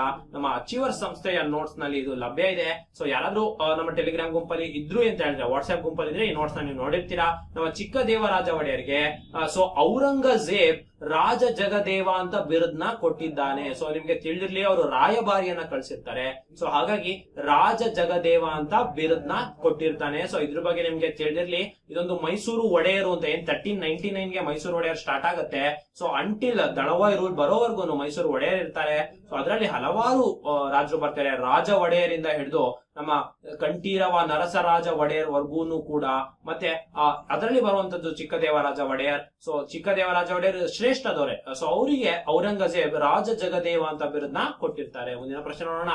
Which of the following articles of the Indian constitution describes the suability of the state in India ಅಂತ ಹೇಳ್ಬಿಟ್ಟು. ಸುಯಬಿಲಿಟಿ ಆಫ್ ಸ್ಟೇಟ್ ಇನ್ ಇಂಡಿಯಾನ ಯಾವ ಆರ್ಟಿಕಲ್ ಹೇಳುತ್ತೆ ಅಂತ ಹೇಳ್ಬಿಟ್ಟು. ಸರಿಯಾದ ಉತ್ತರ ಸ್ನೇಹಿತರೆ, ಇದಕ್ಕೆ ಆರ್ಟಿಕಲ್ ತ್ರೀ ಹಂಡ್ರೆಡ್ ಆಗಿರುತ್ತೆ. ಸೊ ಆರ್ಟಿಕಲ್ ತ್ರೀ ಹಂಡ್ರೆಡ್ ಏನ್ ಹೇಳುತ್ತೆ ಅಂತ ಹೇಳಿದ್ರೆ ಸ್ಟೇಟ್ನ ಸುಯಬಿಲಿಟಿಯನ್ನ ಡಿಸ್ಕ್ರೈಬ್ ಮಾಡುತ್ತೆ. ಇದ್ರ ಬಗ್ಗೆ ನಿಮ್ಗೆ ಮಾಹಿತಿ ಇರ್ಲಿ. ಆರ್ಟಿಕಲ್ಸ್ನ ಸ್ನೇಹಿತರೆ, ನೀವು ನಿಖರವಾಗಿ ಓದ್ಬೇಕಾಗತ್ತೆ. ಒಂದ್ ಕಡೆ ಪಟ್ಟಿ ಮಾಡ್ಕೊಳ್ಳಿ. ಅದನ್ನೆಲ್ಲಾದ್ರೂ ಗೋಡೆಯಲ್ಲಿ ಅಂಟಿಸ್ಕೊಳ್ಳಿ. ಪ್ರತಿದಿನ ರಿವಿಷನ್ ಮಾಡಿ. ಅಷ್ಟೇ ಅಲ್ಲ, ಆ ಆರ್ಟಿಕಲ್ನ ಏನೇನ್ ಪಾಯಿಂಟ್ಸ್ ಇದೆ, ಅದನ್ನ ಕೂಡ ನೀವು ನೋಡ್ಕೋಬೇಕಾಗತ್ತೆ. ಅಂದ್ರೆ ಯಾಕಂದ್ರೆ ಯಾವುದೇ ರೀತಿ ಪ್ರಶ್ನೆ ಕೇಳಿದ್ರು ನೀವು ಸೂಕ್ತವಾಗಿ ಉತ್ತರವನ್ನ ಮಾಡಬಹುದಾಗಿರುತ್ತೆ ಮುಂದಿನ ಪ್ರಶ್ನೆ ನೋಡೋಣ. Which of the following is the highest point in Karnataka ನೋಡಿ, ಇದೊಂದು ಸ್ವಲ್ಪ ಟ್ರಿಕಿ ಕ್ವಶನ್ ನೀವು ಅಕಸ್ಮಾತ್ ಈ ಕೊಟ್ಟಿರುವಲ್ಲಿ ಹೈಯೆಸ್ಟ್ ಪಾಯಿಂಟ್ ಹೇಳೋದಾದ್ರೆ ಅದು ಬೇರೆ ಇದೆ. ಆದ್ರೆ ನೋಡಿ, Biligiri Rangana Betta B R hills ಅಂತ ನಿಮಗೆ ಗೊತ್ತಿರುತ್ತೆ. ಮಳೆ ಮಹಾದೇಶ್ವರ ಬೆಟ್ಟ ಗೊತ್ತಿರುತ್ತೆ. ಆದ್ರೆ ನಂದಿ ಹಿಲ್ಸ್ ಕೂಡ ಬೆಂಗಳೂರಲ್ಲಿ ಇದೆ ಚಿಕ್ಕಬಳ್ಳಾಪುರ ಹತ್ರ ಇದೆ, ಅದ್ ಗೊತ್ತಿರುತ್ತೆ. ನನ್ ಆಫ್ ದಿಸ್ ಅಂತ ಕೊಟ್ಟಿದ್ದಾರೆ. ನೋಡಿ ಹೈಯೆಸ್ಟ್ ಪಾಯಿಂಟ್ ಇನ್ ಕರ್ನಾಟಕ ಯಾವುದು ಅಂದ್ರೆ, ನಮ್ಮ ಚಿಕ್ಕಮಗಳೂರು ಜಿಲ್ಲೆಯಲ್ಲಿರುವಂತ ಮುಳ್ಳಯ್ಯನಗಿರಿ, ನಮ್ಮ ಕರ್ನಾಟಕದ ಅತಿ ದೊಡ್ಡ ಅಥವಾ ಅತಿ ಎತ್ತರದ ಪೀಕ್ ಆಗಿದೆ. ಸೊ ಇನ್ನು ನಮ್ಮ ದಕ್ಷಿಣ ಭಾರತದಲ್ಲಿ ಅನೈಮುಡಿ ಹಿಲ್ಸ್ ಇದೆ. ಇದು ನಿಮಗೆ ಓದಿರ್ತೀರಾ? ಸೊ ಆದ್ರೆ ಇಲ್ಲಿ ಕ್ವಶನ್ ಯಾವ್ದು ಎತ್ತರವಾದದ್ದು ಅಂತ ಕೇಳ್ತಾ ಇಲ್ಲ. ಈ ಕೆಳಗ್ನಲ್ಲಿ ಹೈಯೆಸ್ಟ್ ಪಾಯಿಂಟ್ ಯಾವ್ದು ಕರ್ನಾಟಕದಲ್ಲಿ ಅಂತ ಕೇಳ್ತಿದ್ದಾರೆ. ಸೊ ಇಲ್ಲಿ ಹೌದಾ? ಹಾಗಾದ್ರೆ ಮಳೆ ಮಹದೇಶ್ವರ ನಂದಿ ಹಿಲ್ಸ್ ಬಿಳಿಗಿರಿ ರಂಗನ ಹೌದಾ ಅಂದ್ರೆ ಅಲ್ಲ. ಸೊ ಹಾಗಾಗಿ ಇಲ್ಲಿ ನನ್ ಆಫ್ ದಿಸ್ ಅನ್ನೋ ಆಪ್ಷನ್ ಕೊಟ್ಟಿರುವ ಕಾರಣದಿಂದ ಇಲ್ಲಿ ನನ್ ಆಫ್ ದಿಸ್ ಸರಿಯಾಗಿರುತ್ತೆ. ಅದೇ ಅಕಸ್ಮಾತ್ ನನ್ ಆಫ್ ದಿಸ್ ಬದಲು ಬೇರೆ ಯಾವ್ದೋ ಬೆಟ್ಟ ಕೊಟ್ಟಿದ್ದ ಅಂತ ಹೇಳಿದ್ರೆ ಇವು ನಾಲ್ಕರಲ್ಲಿ ಹೈಯೆಸ್ಟ್ ಯಾವುದು ಅಂತ ನಿಮಗೆ ಮೀಟರ್ಸ್ಗಳ ಲೆಕ್ಕದಲ್ಲಿ ಗೊತ್ತಿರಬೇಕಾಗತ್ತೆ. ಸೊ ಹಾಗಾಗಿ ಎಲ್ಲವನ್ನ ಓದೋದು ಬಹಳ ಪ್ರಮುಖವಾಗಿರುತ್ತೆ. ಸೊ ನೀವು ಸ್ಟ್ಯಾಟಿಕ್ ಜಿಕೆಯನ್ನ ಓದ್ತಾ ಎಲ್ಲದನ್ನ ನೀವು ಗಮನಿಸಬೇಕಾಗತ್ತೆ. ಮುಂದಿನ ಪ್ರಶ್ನೆ ನೋಡೋಣ ಇದೊಂದು ಮೆಂಟಲ್ ಅಬಿಲಿಟಿ ಪ್ರಶ್ನೆ. ಎಷ್ಟು ಸ್ಕ್ವೇರ್ಸ್ ಗಳಿದೆ ಅಂತ ಈ ಫಿಗರ್ಗಳಲ್ಲಿ? ಸೊ ಇದನ್ನ ಎರಡು ಮೆಥಡ್ ಅಲ್ಲಿ ಮಾಡಬಹುದು ಒಂದು ಎಷ್ಟು ಕೊಟ್ಟಿದ್ದಾರೆ ಲೈನ್ಸ್ ಏನಿದೆ? ಲೈನ್ಸ್ ಡಯಾಗ್ನಲ್ಸ್ ಮುಖಾಂತರ ಫಾರ್ಮುಲಾ ಹಾಕಿ ಮಾಡಬಹುದು ಇನ್ನೊಂದು, ಹಾಗೆ ವಿಜುವಲೈಸ್ ಆಗಿ ಮಾಡಿ ಅದನ್ನ ಎಣಿಸ್ತಾ ಕೂರ್ಬೋದು. ಸೊ ನಾನ್ ನಿಮಗೆ ಸಿಂಪ್ಲಿಫೈ ಮಾಡ್ತೀನಿ. ಸೊ ನೋಡಿ ಇಲ್ಲಿ ನಾಲ್ಕು ಇಂಟು ನಾಲ್ಕು ಇರುವಂತಹ ಒಂದು ಸ್ಕ್ವೇರ್ ಇದಾಗಿದೆ. ಸೊ ಹದಿನಾರು ಸ್ಕ್ವೇರ್ಸ್ ಆಲ್ರೆಡಿ ಬಂದಿದೆ. ಅದ್ ಬಿಟ್ಟು ಒಂದು ಹೋಲ್ ಸ್ಕ್ವೇರ್ ನಮ್ಮಲ್ಲಿ ಏನಿದೆ? ಸೊ ಅದು ಒಂದು ಹದಿನೇಳು ಸ್ಕ್ವೇರ್ ಮತ್ತೆ ನಿಮ್ಗೆ ಗೊತ್ತಿರ್ಬೋದು, ಈ ಈ ಒಂದು ಭಾಗ ಇದೆಯಲ್ಲ, ಇದು ಕೂಡ ಸ್ಕ್ವೇರ್ ಆಗುತ್ತಲ್ವಾ? ಸೊ ಹಾಗಾಗಿ ಇದು ನಾಲ್ಕಿದೆ. ಸೊ ಪ್ಲಸ್ ನಾಲ್ಕು ಮಾಡ್ತೀನಿ. ಅಷ್ಟೇ ಅಲ್ಲ ನಿಮ್ಗೆ ಮಧ್ಯದಲ್ಲಿ ಒಂದು ಸ್ಕ್ವೇರ್ ಇದೆ. ಮತ್ತೆ ಈ ಕಡೆ ಒಂದು ಸ್ಕ್ವೇರ್ ಬರುತ್ತೆ. ಸೊ ಹಾಗಾಗಿ ಇದಕ್ಕೊಂದು ಎರಡು. ಸೊ ಇಪ್ಪತ್ತು, ಇಪ್ಪತ್ತೊಂದು, ಇಪ್ಪತ್ತ ಮೂರಾಗತ್ತೆ. ಅಷ್ಟೇ ಅಲ್ಲ, ನೋಡಿ ಇಲ್ಲಿ ಇಪ್ಪತ್ತ ಏಳು ಇಪ್ಪತ್ತ ಎಂಟು ಇಪ್ಪತ್ತ ಒಂಬತ್ತು ಮೂವತ್ತು. ಸೊ ಒಟ್ಟಾರೆ ನಮಗೆ ಇಲ್ಲಿ ಮೂವತ್ತು ಸ್ಕ್ವೇರ್ಗಳು ಕಂಡು ಬರುತ್ತೆ ಇದನ್ನ ವಿಜುವಲೈಸ್ ಮಾಡಿದ್ರೆ ಗೊತ್ತಾಗುತ್ತೆ. ಸೊ ನೀವು ಒಮ್ಮೆ ಗಮನವಿಟ್ಟು ನೋಡಿ, ಅಥವಾ ಲೈನ್ಸ್ ಅಥವಾ ಡಯಾಗ್ನಲ್ಸ್ ಮೇಲೆ ಫಾರ್ಮುಲಾ ಮೆಥಡ್ ಅನ್ನ ಕೂಡ ನೀವು ಇದಕ್ಕೆ ಯೂಸ್ ಮಾಡಬಹುದು ಮುಂದಿನ ಪ್ರಶ್ನೆ ನೋಡೋಣ. ನೋಡಿ which of the Veda there is a Gayatri Mantra ಅಂತ ಕೇಳಿದರೆ ಸೊ ಗಾಯತ್ರಿ ಮಂತ್ರ ಇರುವಂತಹ ವೇದ ಯಾವುದು ಅಂತ ಹೇಳಿದ್ರೆ ಋಗ್ವೇದ ಇದು ನಿಮಗೆ ಗೊತ್ತಿರುತ್ತೆ ಗಾಯತ್ರಿ ಮಂತ್ರ ಓಂ ಭೂಮ್ ಬೃಹತ್ ಸ್ವಹ ತತ್ಸವೇರೇಣ್ಯಂ ಅಂತ ಹೇಳ್ಬಿಟ್ಟು ಗಾಯತ್ರಿ ಮಂತ್ರ ಏನಿದೆ ಸೊ ಅದು ಯಾವ ವೇದದಲ್ಲಿದೆ ಅಂದ್ರೆ ಋಗ್ವೇದದಲ್ಲಿದೆ. ಸೊ ಇದ್ರ ಬಗ್ಗೆ ತಿಳಿದಿರ್ಲಿ. ಮುಂದಿನ ಪ್ರಶ್ನೆ ನೋಡೋಣ. Which is the water fall in Bedti Gangavalli river ನೋಡಿ ಈ ಪ್ರಶ್ನೆ ಯಾಕೆ ಬಂದಿರ್ಬೋದು ಅಂತ ನಿಮ್ಗೆ? ಆ, ನೋಡಿ ಬೇಡ್ತಿ ನದಿನ ಜೋಡಣೆ ಮಾಡ್ತಾ ಇದಾರಲ್ವಾ ಸೊ ಸುದ್ದಿಯಲ್ಲಿ ಇತ್ತಿದ್ದು ಕರೆಂಟ್ ಅಫೇರ್ಸ್ ಅಲ್ಲಿ ಇತ್ತು ಹಾಗ ಹಾಗಂತ ಸುದ್ದಿಯಲ್ಲಿರುವಂತಹ ಬೇಡ್ತಿ ವರದ ಮತ್ತು ಸಾರಿ ಬೇಡ್ತಿ ನದಿಯನ್ನ ಏನ್ ಜೋಡಣೆ ಮಾಡ್ತಾರೆ ಅದ್ರ ಮೇಲೆ ಪ್ರಶ್ನೆ ಕೇಳ್ತಾ ಇಲ್ಲ. ಆ ಬೇಡ್ತಿ ಗಂಗಾವಳ್ಳಿ ನದಿಯ ಅತ್ಯಂತ ಇರುವ ವಾಟರ್ ಫಾಲ್ ಯಾವುದು ಅಂತ ಕೇಳ್ತಾ ಇದ್ದಾರೆ. ಸೊ ಇದಕ್ಕೆ ಸರಿಯಾದ ಉತ್ತರ ನೋಡಿ ಆಪ್ಷನ್ಸ್ ಕೊಟ್ಟಿದ್ದಾರೆ Unchalli falls Magod falls Shivaganga falls Jog falls ನಿಮಗೆ ಜೋಗ್ ಫಾಲ್ಸ್ ಅಲ್ಲ ಅಂತ ಗೊತ್ತಿರುತ್ತೆ, ಯಾಕಂದ್ರೆ ಇದು ಶರಾವತಿ ನದಿಯಲ್ಲಿ ಬರುತ್ತೆ. ಸೊ ಸರಿಯಾದ ಉತ್ತರ ಸ್ನೇಹಿತರೆ, ಇದಕ್ಕೆ ಮಾಗೋಡ್ ಜಲಪಾತ ಆಗಿರುತ್ತೆ. ಸ್ನೇಹಿತರೆ ಮಾಗೋಡ್ ಜಲಪಾತ ನಮ್ಮ ಬೇಡ್ತಿ ಗಂಗಾವಳ್ಳಿ ನದಿಯಲ್ಲಿ ಬರುತ್ತೆ. ಮುಂದಿನ ಪ್ರಶ್ನೆ ನೋಡೋಣ. Dash is eco friendly activity ಯಾವುದು ಎಕೋ ಫ್ರೆಂಡ್ಲಿ ಆಕ್ಟಿವಿಟಿ ಅಂತ ಕೇಳಿದಾರೆ ನೋಡಿ ಅಗ್ರಿಕಲ್ಚರ್ ಹಾರ್ಟಿಕಲ್ಚರ್ ಮೈನಿಂಗ್ ಸೆರಿಕಲ್ಚರ್ ನೀವು ಕ್ವಶನ್ ಅನ್ನ ನೋಡಿದ ತಕ್ಷಣ ಮೈನಿಂಗ್ ಒಂದು ಎಕೋ ಫ್ರೆಂಡ್ಲಿ ಆಕ್ಟಿವಿಟಿ ಅಲ್ಲ ಅಂತ ಗೊತ್ತಾಗುತ್ತೆ. ಬಟ್ ನಿಮಗೆ ಹಾರ್ಟಿಕಲ್ಚರ್ ಆಗಿರ್ಲಿ ಅಗ್ರಿಕಲ್ಚರ್ ಆಗಿರ್ಲಿ ಸೆರಿಕಲ್ಚರ್ ಮಧ್ಯೆ ಕನ್ಫ್ಯೂಷನ್ ಬರ್ಬೋದು. ಸೊ ಇಲ್ಲಿ ನಿಮಗೆ ಏನಂದ್ರೆ ಮೂರು ಕೂಡ ನಾವು ಭೂಮಿಯನ್ನು ಉಪಯೋಗಿಸ್ತೀವಿ. ಇದ್ರಲ್ಲಿ ಯಾವ್ದು ಎಕೋ ಫ್ರೆಂಡ್ಲಿ ಅಂದ್ರೆ ಅಗ್ರಿಕಲ್ಚರ್ ಅಲ್ಲ. ಯಾಕೆ ಹೇಳಿ? ಅಗ್ರಿಕಲ್ಚರ್ಗೆ ನೀವು ಕೆಮಿಕಲ್ ಫರ್ಟಿಲೈಸರ್ಸ್ ಅನ್ನ ಹಾಕ್ತೀರಾ? ಇದು ಎಕೋ ಫ್ರೆಂಡ್ಲಿ ಆಗ್ಲಿಕ್ಕೆ ಚಾನ್ಸ್ ಇಲ್ಲ. ಹಾರ್ಟಿಕಲ್ಚರ್ ಕೂಡ ಸೇಮೆ. ತೋಟಗಾರಿಕೆ ಅಂತ ಕರೀತಾರೆ, ಅದು ಕೂಡ ಅದೇ. ಆದ್ರೆ ಯಾವ್ದು ಎಕೋ ಫ್ರೆಂಡ್ಲಿ ಅಂದ್ರೆ ಕೊಟ್ಟಿರುವಂತದ್ರಲ್ಲಿ ಸೆರಿಕಲ್ಚರ್ ಸೊ ಸೆರಿಕಲ್ಚರ್ ಇದಕ್ಕೆ ಸರಿಯಾದ ಉತ್ತರ ಆಗಿರುತ್ತೆ. ಮುಂದಿನ ಪ್ರಶ್ನೆ ನೋಡ್ತಾ ಹೋಗೋಣ.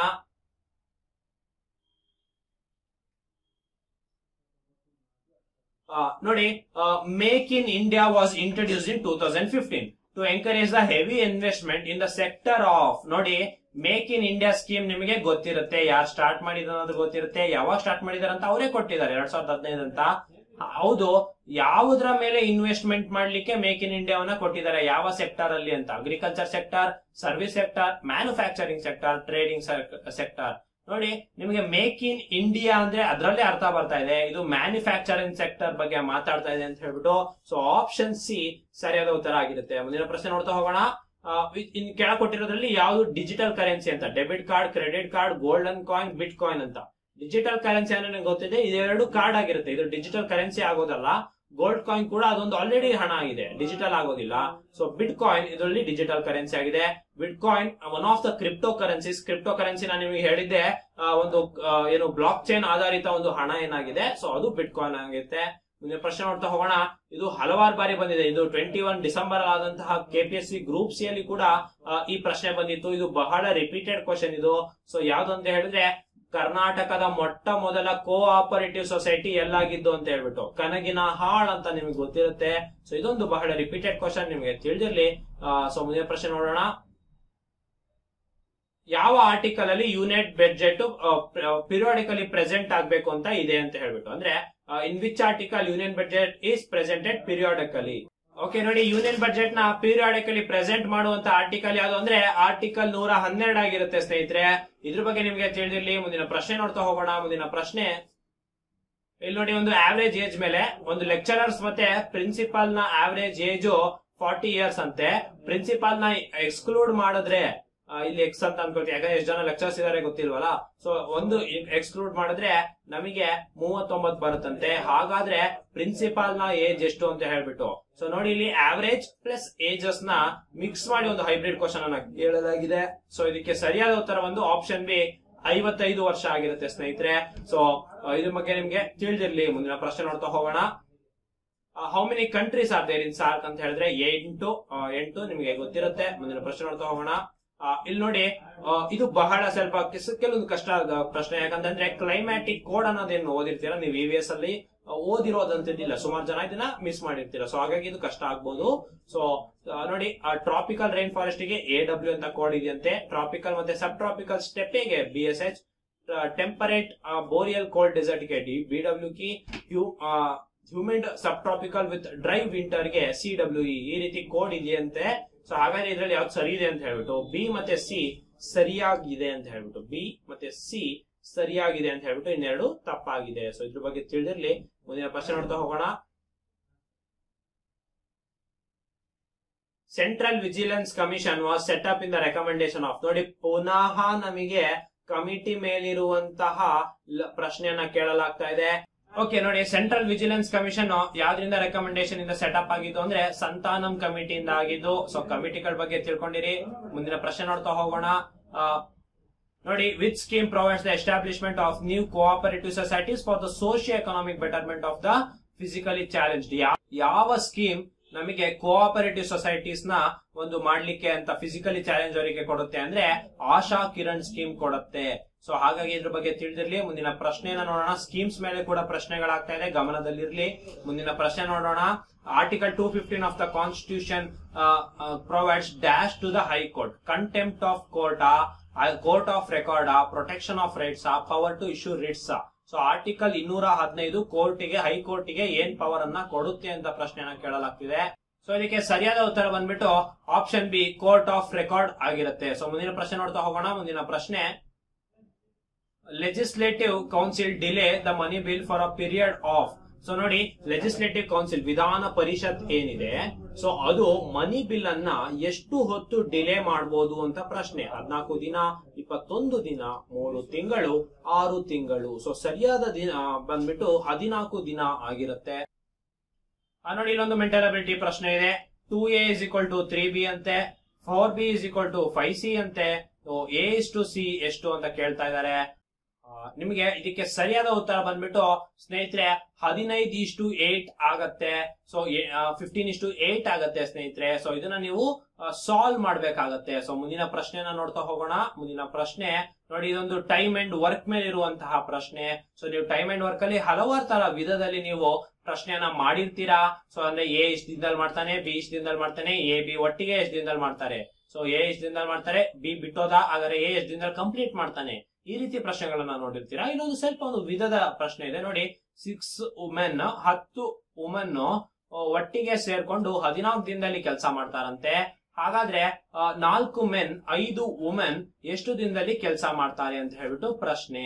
ಸೊ ಸ್ನೇಹಿತರೆ, ನೀವು ಇದನ್ನ ನೀವು ಸಾಲ್ವ್ ಮಾಡಿದ್ರಿ ಅಂತ ಹೇಳಿದ್ರೆ ಸೊ ನಿಮಗೆ ಆನ್ಸರ್ ಎಷ್ಟು ಬರುತ್ತೆ ಅಂತ ಹೇಳಿದ್ರೆ, ಹನ್ನೆರಡು ದಿನ ಬರುತ್ತೆ. ಸೊ ಟ್ವೆಲ್ ಡೇಸ್ ಇದಕ್ಕೆ ಸರಿಯಾದ ಉತ್ತರ ಆಗಿರುತ್ತೆ. ಸೊ ಯಾಕಂತ ಹೇಳಿದ್ರೆ, ನಿಮ್ಗೆ ಒಬ್ಬೊಬ್ರು ಒಂದೊಂದು ಮೆಥಡ್ ಅನ್ನ ಹೇಳ್ಕೊಟ್ಟಿರ್ತಾರೆ ಮಾಡ್ಲಿಕ್ಕೆ. ಸೊ ನೀವು ಅದನ್ನ ನೀವು ಮಾಡಿದ್ರಿ ಅಂತ ಹೇಳಿದ್ರೆ, ಅಂದ್ರೆ ನೀವು ಇನ್ನೊಂದು ಮೆಥಡ್ನ ಕಲಿಯಕ್ ಹೋದ್ರೆ ನಿಮ್ಗೆ ಕನ್ಫ್ಯೂಸ್ ಆಗ್ಲಿಕ್ಕೆ ಸ್ಟಾರ್ಟ್ ಆಗುತ್ತೆ. ಸೊ ಹಾಗಾಗಿ ನಿಮ್ಮ ಮೆಥಡ್ ನಲ್ಲೇ ನೀವು ಸಾಲ್ವ್ ಮಾಡಿ. ಸೊ ಆನ್ಸರ್ ಒಂದು ಟ್ವೆಲ್ ಡೇಸ್ ಆಗಿರುತ್ತೆ. ಮುಂದಿನ ಪ್ರಶ್ನೆ ನೋಡ್ತಾ ಹೋಗೋಣ. ನೋಡಿ, ಇಲ್ಲೊಂದು ಕರೆಂಟ್ ಅಫೇರ್ಸ್ ಆಧಾರಿತ ಪ್ರಶ್ನೆ project Aasman project, Mausam project, Meghraj ಅಂತ ಇದೆ. ಇವು ಮೂರಲ್ಲಿ ಯಾವುದು? ಈ ಗವರ್ನೆನ್ಸ್ ಥ್ರೂ ಕ್ಲೌಡ್ ಕಂಪ್ಯೂಟಿಂಗ್ ಸಂಬಂಧ ಇದೆ ಅಂತ ಹೇಳ್ಬಿಟ್ಟು. ಸೊ ಸರಿಯಾದ ಉತ್ತರ ಬಂದ್ಬಿಟ್ಟು ಓನ್ಲಿ ಸಿ ಆಗಿರುತ್ತೆ. ಪ್ರಾಜೆಕ್ಟ್ ಮೇಘರಾಜ್ ಅನ್ನೋದೇನಿದೆ? ಇದು ಮಾತ್ರ ಕ್ಲೌಡ್ ಕಂಪ್ಯೂಟರ್ಗೆ ಸಂಬಂಧ ಇರುತ್ತೆ. ಮುಂದಿನ ಪ್ರಶ್ನೆ ನೋಡ್ತಾ ಹೋಗೋಣ. ಮುಂದಿನ ಪ್ರಶ್ನೆ.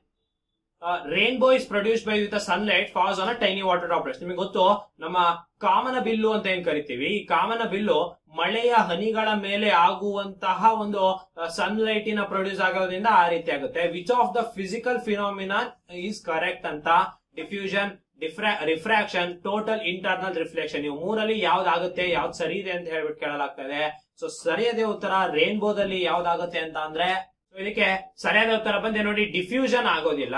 ರಿಫ್ರಾಕ್ಷನ್ ಮತ್ತು ಟೋಟಲ್ ಇಂಟರ್ನಲ್ ರಿಫ್ಲೆಕ್ಷನ್ ಆಗುತ್ತೆ. ಸೊ ರಿಫ್ರಾಕ್ಷನ್ ಮತ್ತೆ T I R two and three ಸರಿಯಾದ ಉತ್ತರ ಆಗಿರುತ್ತೆ. ಸೊ ಮುಂದಿನ ಪ್ರಶ್ನೆ ನೋಡ್ತಾ ಹೋಗೋಣ. ಮುಂದಿನ ಪ್ರಶ್ನೆ ನೋಡಿ, ಇದೊಂದು static G K which is the first woman selected in B S F border security force ಏನಿದೆ?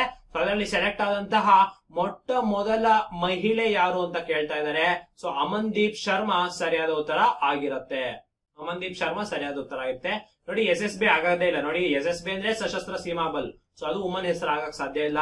ಈ ಸುರ್ಜಿತ್ ಸಿಂಗ್ ದೇಸ್ವಾಲ್, ಅಪರ್ಣಾ ಕುಮಾರ್, ಅಮನ್ದೀಪ್ ಶರ್ಮಾದಲ್ಲಿ ನೀವು ಹುಡುಕ್ಬೇಕಾಗಿರುತ್ತೆ. ಸರಿಯಾದ ಉತ್ತರ ಬಂದು ಅಮಿತ್ದೀಪ್ ಶರ್ಮಾ ಆಗಿರುತ್ತೆ. ಸೊ ಮುಂದಿನ ಪ್ರಶ್ನೆ ನೋಡ್ತಾ ಹೋಗೋಣ. ಮುಂದಿನ ಪ್ರಶ್ನೆ ನೋಡಿ, ಇಲ್ಲೊಂದು ಮೆಂಟಲ್ ಅಬಿಲಿಟಿ ಪ್ರಶ್ನೆ ಇದೆ. ಬೆಗ್ಗರ್ ಹತ್ರ ಹತ್ತು ಪೈಸೆ, ಇಪ್ಪತ್ತು ಪೈಸೆ, ಹಾಗೆ ಒಂದು ರೂಪಾಯಿ ಕಾಯಿನ್ ಇರುತ್ತಂತೆ. ಸೊ ಅದು ಯಾವ ರೇಷಿಯೋದಲ್ಲಿ ಇದೆ ಅಂದ್ರೆ ಟೆನ್ ಇಷ್ಟು ಸೆವೆಂಟೀನ್ ಇಷ್ಟು ಸೆವೆನ್ ರೇಷಿಯೋದಲ್ಲಿ ಇರುತ್ತಂತೆ. ಸೊ ಅದು ಒಟ್ಟಾರೆ ಅವನ ಹತ್ರ ಐವತ್ತೇಳು ರೂಪಾಯಿಗಳಿದೆ ಅಂತ ಹೇಳಿದ್ರೆ ಇಪ್ಪತ್ತು ಪೈಸೆಯ ಕಾಯಿನ್ಸ್ ಎಷ್ಟಿರುತ್ತೆ ಅಂತ ಹೇಳ್ಬಿಟ್ಟು ಕೇಳಲಾಗ್ತಾ ಇದೆ. ಸೊ ನೋಡಿ, ಅಕಸ್ಮಾತ್ ಅವನ ಹತ್ರ ಒಂದ್ ರೂಪಾಯಿ ಕಾಯಿನ್ಸ್ ಇದೆ ಅಂತ ಹೇಳಿದ್ರೆ, ಅಂದ್ರೆ ಹತ್ತು ಪೈಸೆ, ನೋಡಿ, ನಿಮ್ಗೆ ಇದು ಗೊತ್ತಿರ್ಬೇಕಾಗತ್ತೆ ನೂರು ಪೈಸೆ ಅಂದ್ರೆ ಒಂದು ರೂಪಾಯಿ. ಇದು ನಿಮ್ಗೆ ಗೊತ್ತಿರುತ್ತೆ ಜನರಲ್ ಆಗಿ. ಸೊ ಈ ಕಾನ್ಸೆಪ್ಟ್ ಮೇಲೆ ನೀವು ಮಾಡ್ತಾ ಹೋದ್ರಿ ಅಂದ್ರೆ ನಿಮಗೆ ಸರಿಯಾದ ಉತ್ತರ ಬಂದ್ಬಿಟ್ಟು ಏಯ್ಟಿ ಫೈವ್ ಆಗಿರುತ್ತೆ. ಸೊ ಅವನ ಹತ್ರ ಇಪ್ಪತ್ತು ಪೈಸೆಯ ಎಂಬತ್ತೈದು ಕಾಯಿನ್ಗಳು ಅವನ ಹತ್ರ ಇರುತ್ತೆ. ಸೊ ಇದ್ರ ಬಗ್ಗೆ ನಿಮ್ಗೆ ತಿಳಿದಿರಲಿ, ಮುಂದಿನ ಪ್ರಶ್ನೆ ನೋಡ್ತಾ ಹೋಗೋಣ. Which of the commissioner had conducted the railway line between Bengaluru and Jolarpet ನಿಮ್ಗೆ ಗೊತ್ತು, ಕರ್ನಾಟಕದಲ್ಲಿ ಬಂದಂತಹ ಮೊಟ್ಟ ಮೊದಲ ರೈಲ್ವೆ ಲೈನ್ ನಮ್ಮ ಏನು ಏಟೀನ್ ತರ್ಟಿ ಒನ್ ನಗರ ದಂಗೆ ನಂತರ ಕಮಿಷನರ್ ಆಳ್ವಿಕೆ ಬಂತು ಏಟೀನ್ ಏಟಿ ಒನ್ ತನಕ. ಈ ಟೈಮ್ ಅಲ್ಲಿ ಆದಂತಹ ರೈಲ್ವೆ ಹಳಿಯೋದು. ಸೊ ಯಾರ ಟೈಮ್ ಅಲ್ಲಿ ಬಂತು ಅಂತ ಹೇಳಿದ್ರೆ, ಮಾರ್ಕ್ ಕಬ್ಬನ್ ಟೈಮ್ ಅಲ್ಲಿ ಬಂತು. ಸೊ ಮಾರ್ಕ್ ಕಬ್ಬನ್ ಟೈಮ್ ಅಲ್ಲಿ ನಮಗೆ ಬೆಂಗಳೂರಿಂದ ತಮಿಳುನಾಡಿನ ಜೋಲಾರ್ಪೇಟ್ ಜಂಕ್ಷನ್ ವರೆಗೆ ರೈಲ್ವೆ ಹಳಿ ಬಂದಿತ್ತು. ಇದನ್ನು ನೀವು ಮೈಸೂರು ಚಾಪ್ಟರ್ ಅಲ್ಲಿ ಓದಿರ್ತೀರಾ. ಮುಂದಿನ ಪ್ರಶ್ನೆ ನೋಡೋಣ. ನೋಡಿ imagine if you are standing in front of the Dow plane mirror ಒಂದು ನೋಡಿ, ಒಂದು ಪ್ಲೇನ್ ಮಿರರ್ ಇದೆಯಂತೆ. ಸೊ ಆ ಪ್ಲೇನ್ ಮಿರರ್ ಎದುರುಗಡೆ ನೀವು ನಿಂತಿದ್ದೀರಂತೆ. ಅಕಸ್ಮಾತ್ ನೀವು ಹತ್ತು ಡಿಗ್ರಿ ಟರ್ನ್ ಆದ್ರೆ ಟೆನ್ ಡಿಗ್ರಿ ಟರ್ನ್ ಆದ್ರೆ ಇಮೇಜ್ ಅಲ್ಲಿ ಎಷ್ಟು ಡಿಗ್ರಿ ಟರ್ನ್ ಆದಂಗ್ ಕಾಣುತ್ತೆ? ಇಪ್ಪತ್ತು ಡಿಗ್ರಿ ಟರ್ನ್ ಆದಂಗ್ ಕಾಣುತ್ತೆ. ಸೊ ಸರಿಯಾದ ಉತ್ತರ ಬಂದು ಟ್ವೆಂಟಿ ಡಿಗ್ರೀಸ್ ನೀವು ನೋಡಿರ್ತೀರಾ?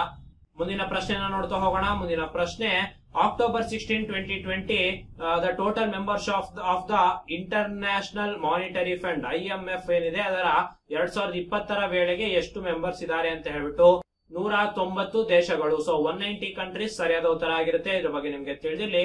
ಮುಂದಿನ ಪ್ರಶ್ನೆ ನೋಡ್ತಾ ಹೋಗೋಣ. Which state is the largest producer of wind energy in India Tamil Nadu ಸರಿಯಾದ ಉತ್ತರ. ಮುಂದಿನ ಪ್ರಶ್ನೆ ನೋಡ್ತಾ ಹೋಗೋಣ. ಮುಂದಿನ ಪ್ರಶ್ನೆ which of the following is a not a component of Pradhan Mantri Garib Kalyan Yojana two point to ಈ ಕೆಳಗಿನಲ್ಲಿ ಯಾವುದು ಗರೀಬ್ ಕಲ್ಯಾಣ್ ಯೋಜನಾ ಎರಡು ಪಾಯಿಂಟ್ನ ಭಾಗವಲ್ಲ ಅಂತ ಕೇಳ್ತಿದ್ದಾರೆ. Insurance schemes for health workers fighting covid nineteen Pradhan Mantri Garib Kalyan Anna Yojana S H G linked production activities ಇದ್ರಲ್ಲಿ ಯಾವ್ದಲ್ಲ ಅಂದ್ರೆ ಪಿ ಎಂ ಇ ವಿದ್ಯಾ ಅಂತ ಏನ್ ಸ್ಕೀಮ್ ಇದೆ? ಇದು ಗರೀಬ್ ಕಲ್ಯಾಣ್ ಯೋಜನಾದಲ್ಲಿ ಬರೋದಿಲ್ಲ ಅಂತ ಹೇಳ್ಬಿಟ್ಟು. ಇದ್ರ ಬಗ್ಗೆ ತಿಳಿದಿರಲಿ, ಮುಂದಿನ ಪ್ರಶ್ನೆ ನೋಡೋಣ. Constitution amendment of for the provisions to establishment of the administrative tribunals. ಯಾವ ಸರ್ಕಾರದ ತಿದ್ದುಪಡಿ ನಮಗೆ ಸಂವಿಧಾನದ ತಿದ್ದುಪಡಿ ನಮಗೆ ಅಡ್ಮಿನಿಸ್ಟ್ರೇಟಿವ್ ಟ್ರಿಬ್ಯು ಟ್ರಿಬ್ಯುನಲ್ ಗಳನ್ನ ಎಸ್ಟಾಬ್ಲಿಷ್ ಮಾಡೋಕೆ ಮಾಡ್ಕೊಡತ್ತೆ ಅವಕಾಶ ಅಂತ ಹೇಳಿದ್ರೆ, ಸರಿಯಾದ ಉತ್ತರ ಬಂದು ನಲವತ್ತ ಎರಡನೇ ತಿದ್ದುಪಡಿ ನಿಮ್ಗೆ ತಿಳಿದಿರಲಿ. ಮುಂದಿನ ಪ್ರಶ್ನೆ ನೋಡೋಣ. ಮುಂದಿನ ಪ್ರಶ್ನೆ in case of humans the taste birds are present in ನೋಡಿ, ಮನುಷ್ಯರಲ್ಲಿ ಟೇಸ್ಟ್ ಬಡ್ಸು ಎಲ್ಲಿರುತ್ತೆ ಅಂತ ನಿಮಗೆ ನಾಲ್ಗೆಲ್ಲಿ ಇರುತ್ತೆ ಅಂತ ಆಲ್ರೆಡಿ ಗೊತ್ತು. ಬಟ್ ಇಲ್ಲಿ ಕೆಳಗಡೆ ಇನ್ನೂ ಎರಡು ಆಪ್ಷನ್ ನೀವು ನೋಡ್ಲೇಬೇಕಾಗುತ್ತೆ. ಪ್ಯಾಲೆಟ್ ಅಲ್ಲಿ ಕೂಡ ಇರುತ್ತೆ. ಸೊ ನೀವು ಯಾವ್ದೋ ಒಂದು ಯಾವ್ದೋ ವಿಡಿಯೋಗಳನ್ನ ನೋಡ್ತಾ ಇದ್ರೆ ಅಲ್ಲಿ ಇರುತ್ತೆ. ನಿಮ್ಮ ಪ್ಯಾಲೆಟ್ ಗಳನ್ನ ಅದು ಚೆನ್ನಾಗಿ ಇದ್ ಮಾಡ್ತಿದೆ ಅಂತ ಹೇಳುತ್ತೆ. ಸೊ ಪ್ಯಾಲೆಟ್ ಅಲ್ಲಿ ಕೂಡ ಟೇಸ್ಟ್ ಬಡ್ಸ್ ಇರುತ್ತೆ. ಫ್ಯಾರಾಂಕ್ಸ್ ಅಲ್ಲೂ ನಮಗೆ ನಮಗೆ ಟೇಸ್ಟ್ ಬಡ್ಸ್ ಇರುತ್ತೆ. ಸೊ ಆನ್ಸರ್ ಬಂದು ಆಲ್ ಆಫ್ ದಿಸ್ ಆಗಿರುತ್ತೆ. ನೀವು ಬರೀ ನಾಲ್ಗೆ ಅಂತ ಹಾಕ್ ಬಂದ್ರೆ ತಪ್ಪಾಗಿರುತ್ತೆ. ಸೊ ಮುಂದಿನ ಪ್ರಶ್ನೆ ನೋಡ್ತಾ ಹೋಗೋಣ. ನೋಡಿ ಒಂದು ಮೆಂಟಲ್ ಅಬಿಲಿಟಿ ಲೆಕ್ಕ ಟು ಫೋರ್ ರೇಷಿಯೋದಲ್ಲಿ ಇದೆ ಅಂತ ನಂಬರು ಸಿಕ್ಸ್ ಅನ್ನ ಆಡ್ ಮಾಡ್ತಾರಂತೆ. ಸೊ ಅವಾಗ ಅದು ಫೋರ್ ಇಸ್ ಟು ಫೈವ್ ರೇಷೋದಲ್ಲಿ ಆಗ್ಬೇಕಂತೆ. ಸೊ ಅವಾಗ ನೀವು, ನೀವೇನ್ ಮಾಡ್ಬೇಕಂದ್ರೆ ಕೊಟ್ಟಿರೋ ನಂಬರ್ಗಳಲ್ಲಿ ಎಲಿಮಿನೇಷನ್ ಮೆಥಡ್ ಅನ್ನ ಮಾಡಬಹುದು ಸೊ ನೋಡಿ ಈಗ ಸಿಕ್ಸ್ ಅನ್ನ ಆಡ್ ಮಾಡಿದಕ್ಕೆ ಸೊ ಏಟೀನ್ ಪ್ಲಸ್ ಸಿಕ್ಸ್ ಎಷ್ಟು? ನಿಮಗೆ ಟ್ವೆಂಟಿ ಫೋರ್ ಬರುತ್ತೆ. Twenty four plus six thirty ಬರುತ್ತೆ. ಸೊ ಇದನ್ನ ರೇಷಿಯೋ ಅನ್ನ ಮಾಡಿ ಸಿಕ್ಸ್ ಫೋರ್ ಜಾ ಸಿಕ್ಸ್ ಫೈವ್ ಜಾ ಬರುತ್ತೆ. ಸೊ ಫೋರ್ ಇಷ್ಟು ಫೈವ್ ರೇಷಿಯೋದಲ್ಲಿ ಇದೆ ಹಂಗಂತ ಇದೊಂದೇ ಸರಿ ಅಂತಲ್ಲ, ಬೇರೆದು ಕೂಡ ಫೋರ್ ಇಷ್ಟು ಫೈವ್ ರೇಷಿಯೋ ಬರುತ್ತೆ. ಬಟ್ ನೀವು ತ್ರೀ ಇಷ್ಟು ಫೋರ್ ರೇಷಿಯೋನ ಕೂಡ ನೀವು ಗಮನಿಸಿದ್ರೆ ನಿಮಗೆ ಸರಿಯಾಗಿ ಉತ್ತರ ಸಿಗತ್ತೆ. ಏಟೀನ್ ಏಟೀನ್ ಮತ್ತೆ ಟ್ವೆಂಟಿ ಫೋರ್ ಸರಿಯಾದ ಉತ್ತರ ಆಗಿರುತ್ತೆ. ಮುಂದಿನ ಪ್ರಶ್ನೆ ನೋಡೋಣ. ಮುಂದಿನ ಪ್ರಶ್ನೆ ನೋಡಿ ಏನ್ ಹೇಳ್ತಾ ಇದೆ ಅಂತ ಹೇಳಿದ್ರೆ which committee recommended the conversation conversion of Mysore provisional cooperative bank to into a central bank ನೋಡಿ ಮೈಸೂರ್ ಪ್ರಾವಿಷನಲ್ ಕೋಆಪರೇಟಿವ್ ಬ್ಯಾಂಕ್ ಏನಿದೆ, ಅದನ್ನ ಸೆಂಟ್ರಲ್ ಬ್ಯಾಂಕ್ ಆಗಿ ಕನ್ವರ್ಟ್ ಮಾಡಬೇಕು ಅನ್ನೋಂತ ಯಾವ ಕಮಿಟಿ ರೆಕಮೆಂಡ್ ಮಾಡಿದೆ ಅಂತ ಇದು ಸ್ವಲ್ಪ ಕಠಿಣ ಪ್ರಶ್ನೆ. ಯಾಕಂದ್ರೆ, ಇದು ಜನರಲ್ ಆಗಿ ನೀವು ಓದ್ತಾ ಈ ಕಮಿಟಿಗಳ ಮೇಲೆ ಈ ರೀತಿ ಪ್ರಶ್ನೆಗಳು ನಿಮಗೆ ಸಿಗೋದಿಲ್ಲ. ಸೊ ಸರಿಯಾದ ಉತ್ತರ ಬಂದು ಲಲ್ಲುಬಾಯ್ ಸಮಲ್ ದಾಸ್ ಕಮಿಟಿ ಸರಿಯಾದ ಉತ್ತರ ಆಗಿರುತ್ತೆ. ಸೊ ಇದು ಸ್ವಲ್ಪ ಟಫ್ ಇತ್ತು. ಕ್ವಶನ್ ಸೊ ಮುಂದಿನ ಪ್ರಶ್ನೆ ನೋಡ್ತಾ ಹೋಗೋಣ. ನೋಡಿ, ನಮ್ ಕರ್ನಾಟಕ ಇತಿಹಾಸದ ಮಾಡರ್ನ್ ಕರ್ನಾಟಕ ಹಿಸ್ಟ್ರಿಯ ಪ್ರಶ್ನೆ ಗಂಗಾಧರರಾವ್ ದೇಶಪಾಂಡೆ, ಎಂ ವೆಂಕಟಕೃಷ್ಣಯ್ಯ ಅಡೇಕರ್ ಮಂಜಪ್ಪ, ಆಲೂರು ವೆಂಕಟರಾವ್. ಸೊ ಆಲೂರು ವೆಂಕಟರಾವ್ ಅವರಿಗೆ ಕನ್ನಡದ ಕುಲ ಪುರೋಹಿತ ಅಂತ ಕರೀತಾರ ಅನ್ನೋದು ನಿಮ್ಗೆ ಗೊತ್ತಿರುತ್ತೆ. ಸೊ ಡಿ ಗೆ ಒನ್ ಇರ್ಬೇಕು ಆಪ್ಷನ್ ಸೊ ಆತರ ಇರೋದು ಕೇವಲ ಒಂದೇ ಒಂದು ಆಪ್ಷನ್ ಸೊ ಈ ರೀತಿ ಎಲಿಮಿನೇಷನ್ ಕೂಡ ನೀವು ಮಾಡಬಹುದು ಹೇಗೆ ಅಂದ್ರೆ ಗಂಗಾಧರ್ ದೇಶಪಾಂಡೆಗೆ ಕರ್ನಾಟಕದ ಸಿಂಹ ಅಂತ ಕರೀತಾರೆ.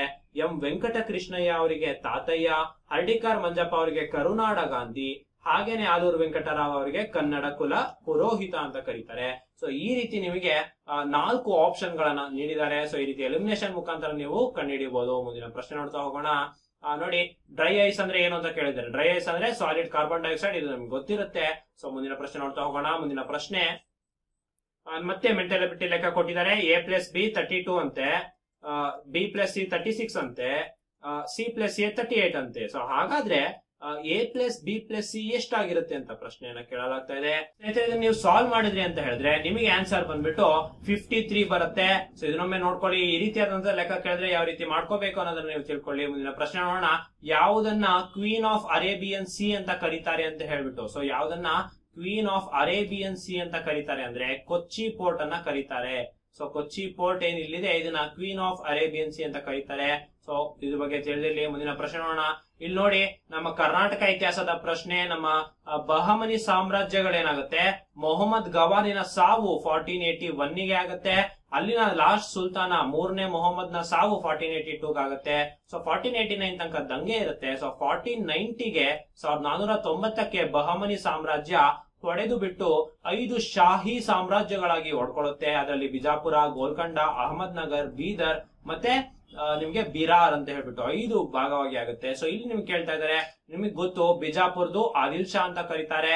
ಸೊ ಅಹಮದ್ ನಗರ ಅದು ನಿಜಾಮ್ ಶಾ ಅಂತ ಕರೀತಾರೆ. ಇಲ್ಲಿ ಬರಿತೀನಿ ನೋಡಿ, ಬಿಜಾಪುರ್ದು ಆದಿಲ್ ಶಾ, ಅಹಮದ್ ನಗರದು ನಿಜಾಮ್ ಶಾ ಮತ್ತೆ ಗೋಲ್ಕಂಡಾದ ಬರೀದ್ ಶಾ, ಬೀದರ್ನ ಕುತುಬ್ ಶಾ. ಇನ್ನೊಮ್ಮೆ ಹೇಳ್ತೀನಿ ನೋಡಿ ಬಿಜ, ಬಿಜಾಪುರ್ದು ಆದಿಲ್ ಶಾ, ಅಹಮದ್ ನಗರದ ನಿಜಾಮ್ ಶಾ, ಗೋಲ್ಕಂಡಾದ ಕುತುಬ್ ಶಾ, ಬೀದರ್ನ ಬರೀದ್ ಶಾ. ಸೊ ಈ ರೀತಿ ನಿಮಗಿದೆ. So three two one four ಸರಿಯಾದ ಆನ್ಸರ್ ಆಗಿರುತ್ತೆ ಇದಕ್ಕೆ. So three two one four ಇರುವಂತದ್ದು ಒಂದೇ ಆಪ್ಷನ್ ನಮಗೆ ಆಪ್ಷನ್ ಎ ಸರಿಯಾದ ಉತ್ತರ ಆಗಿರುತ್ತೆ. ಸೊ ನಿಮಗೆ ಒಂದ್ ಗೊತ್ತಿತ್ತು ಅಂದ್ರೆ ಉಳಿದೆಲ್ಲ ಬರೀಬಹುದು. ನಿಮ್ಗೆ ಗೊತ್ತಿರುತ್ತೆ, ನೀವು ಬಿಜಾಪುರ ಆದಿಲ್ ಶಾಹಿಗಳನ್ನ ಓದಿರ್ತೀರಾ ಕರ್ನಾಟಕ ಇತಿಹಾಸದಲ್ಲಿ. ಇದನ್ನ ಈಸಿಯಾಗಿ ಹೇಳ್ಬೋದು. ಮುಂದಿನ ಪ್ರಶ್ನೆ ನೋಡೋಣ. ನೋಡಿ, ಇದು ಕೂಡ ಒಂದು ಕರೆಂಟ್ ಅಫೇರ್ಸ್ ಪ್ರಶ್ನೆ. ಸಂಭವ ಅನ್ನೋ ಒಂದು. ಇತ್ತೀಚೆಗೆ ಯಾವ ಸಚಿವಾಲಯದಡಿ ಈ ನ್ಯಾಷನಲ್ ಲೆವೆಲ್ ಅವೇರ್ನೆಸ್ ಪ್ರೋಗ್ರಾಮ್ ಈ ಸಂಭವನ್ನ ಮಾಡಲಾಗಿತ್ತು ಅಂತ ಹೇಳ್ಬಿಟ್ಟು ಸರಿಯಾದ ಉತ್ತರ ಬಂದು ಎಂ ಎಸ್ ಆಗಿ ಎಂ ಎ ಆಗಿರುತ್ತೆ. Ministry of small and medium size enterprises ಅಂತ ಹೇಳ್ತೀವಿ. ಎಂ ಎಸ್ ಎಂಇಸ್ ಅಂತ ಕರಿತೇವೆ. ಸೊ ಅದರ ಅಡಿಯಲ್ಲಿ ಸಂಭವವನ್ನು ಒಂದು ಇತ್ತೀಚೆಗೆ ಅವೇರ್ನೆಸ್ ಅನ್ನ ಮಾಡಲಾಗಿತ್ತು. ಮುಂದಿನ ಪ್ರಶ್ನೆ ನೋಡೋಣ. Petersberg dialogue is seen recently is associated with which field ಅಂತ ಹೇಳಿದ್ರೆ ಕ್ಲೈಮೇಟ್ ಆಕ್ಷನ್ ಪೀಟರ್ಸ್ಬರ್ಗ್ ಸೊ ಇದ್ರ ಬಗ್ಗೆ ನಿಮ್ಗೆ ಮಾಹಿತಿ ಇರುತ್ತೆ. ಮುಂದಿನ ಪ್ರಶ್ನೆ ನೋಡ್ತಾ ಹೋಗೋಣ. Which temple of Chalukyas of Kalyana is known as king of temples ಯಾವ ದೇವಾಲಯನ್ನ ದೇವಾಲಯಗಳ ಚಕ್ರವರ್ತಿ ಅಂತ ಕರೀತಾರೆ ಅಂದ್ರೆ ನಮ್ಮ ಕೊಪ್ಪಳದಲ್ಲಿರುವಂತಹ ಇಟಗಿ ಮಹಾದೇವ ಟೆಂಪಲ್ ಅನ್ನ ದೇವಾಲಯಗಳ ಚಕ್ರವರ್ತಿ ಅಂತ ಕರೀತಾರೆ. ನೀವು ಕರ್ನಾಟಕ ಇತಿಹಾಸದಲ್ಲಿ ಓದಿರ್ತೀರಾ? ಮುಂದಿನ ಪ್ರಶ್ನೆ ನೋಡೋಣ. ಮತ್ತೆ ನಮಗೆ ಸಿಂಪಲ್ ಇಂಟ್ರೆಸ್ಟ್ ಮೇಲೆ ಎಸ್ ಐ ಮೇಲೆ ಇರುವಂತಹ ಪ್ರಶ್ನೆ, ಸಾವಿರದ ನಾನೂರ ನಲ್ವತ್ತಂತೆ. ಸೊ ಅದು ಸಾವಿರದ ನಾನೂರ ನಲ್ವತ್ತೆಂಟು ಆಗ್ಬೇಕು ಹತ್ತು ತಿಂಗಳಲ್ಲಿ. ಅಂದ್ರೆ ಎಷ್ಟ್ ಪರ್ಸೆಂಟೇಜ್ ಕೊಡ್ಬೇಕು ಸಿಂಪಲ್ ಇಂಟ್ರೆಸ್ಟ್ ಅಂತ ಹೇಳ್ಬಿಟ್ಟು. ಸೊ ನೋಡಿ ಇಲ್ಲಿ ಎಷ್ಟು ಜಾಸ್ತಿ ಆಗ್ತಾ ಇದೆ? ಕೇವಲ ನಲ್ವತ್ತ ಎಂಟು ಜಾಸ್ತಿ ಆಗ್ತಾ ಇದೆ ಅಲ್ವಾ? ಮೂವತ್ತೆಂಟು ಜಾಸ್ತಿ ಆಗ್ತಾ ಇದೆ. ಸೊ ನಾಲ್ಕು ಪರ್ಸೆಂಟ್ ಅಲ್ಲಿ ನಾವು ಹೋಯ್ತು ಅಂತ ಹೇಳಿದ್ರೆ ಇಷ್ಟನ್ನ ಹನ್ನೆರಡು ತಿಂಗಳಿಗೆ ಮಾಡ್ಬೇಕು, ಆಮೇಲೆ ಎರಡು ತಿಂಗಳು ಮೈನಸ್ ಮಾಡ್ಬೇಕು. ಸೊ ಹತ್ತು ತಿಂಗಳಿಗೆ ಬರುತ್ತೆ.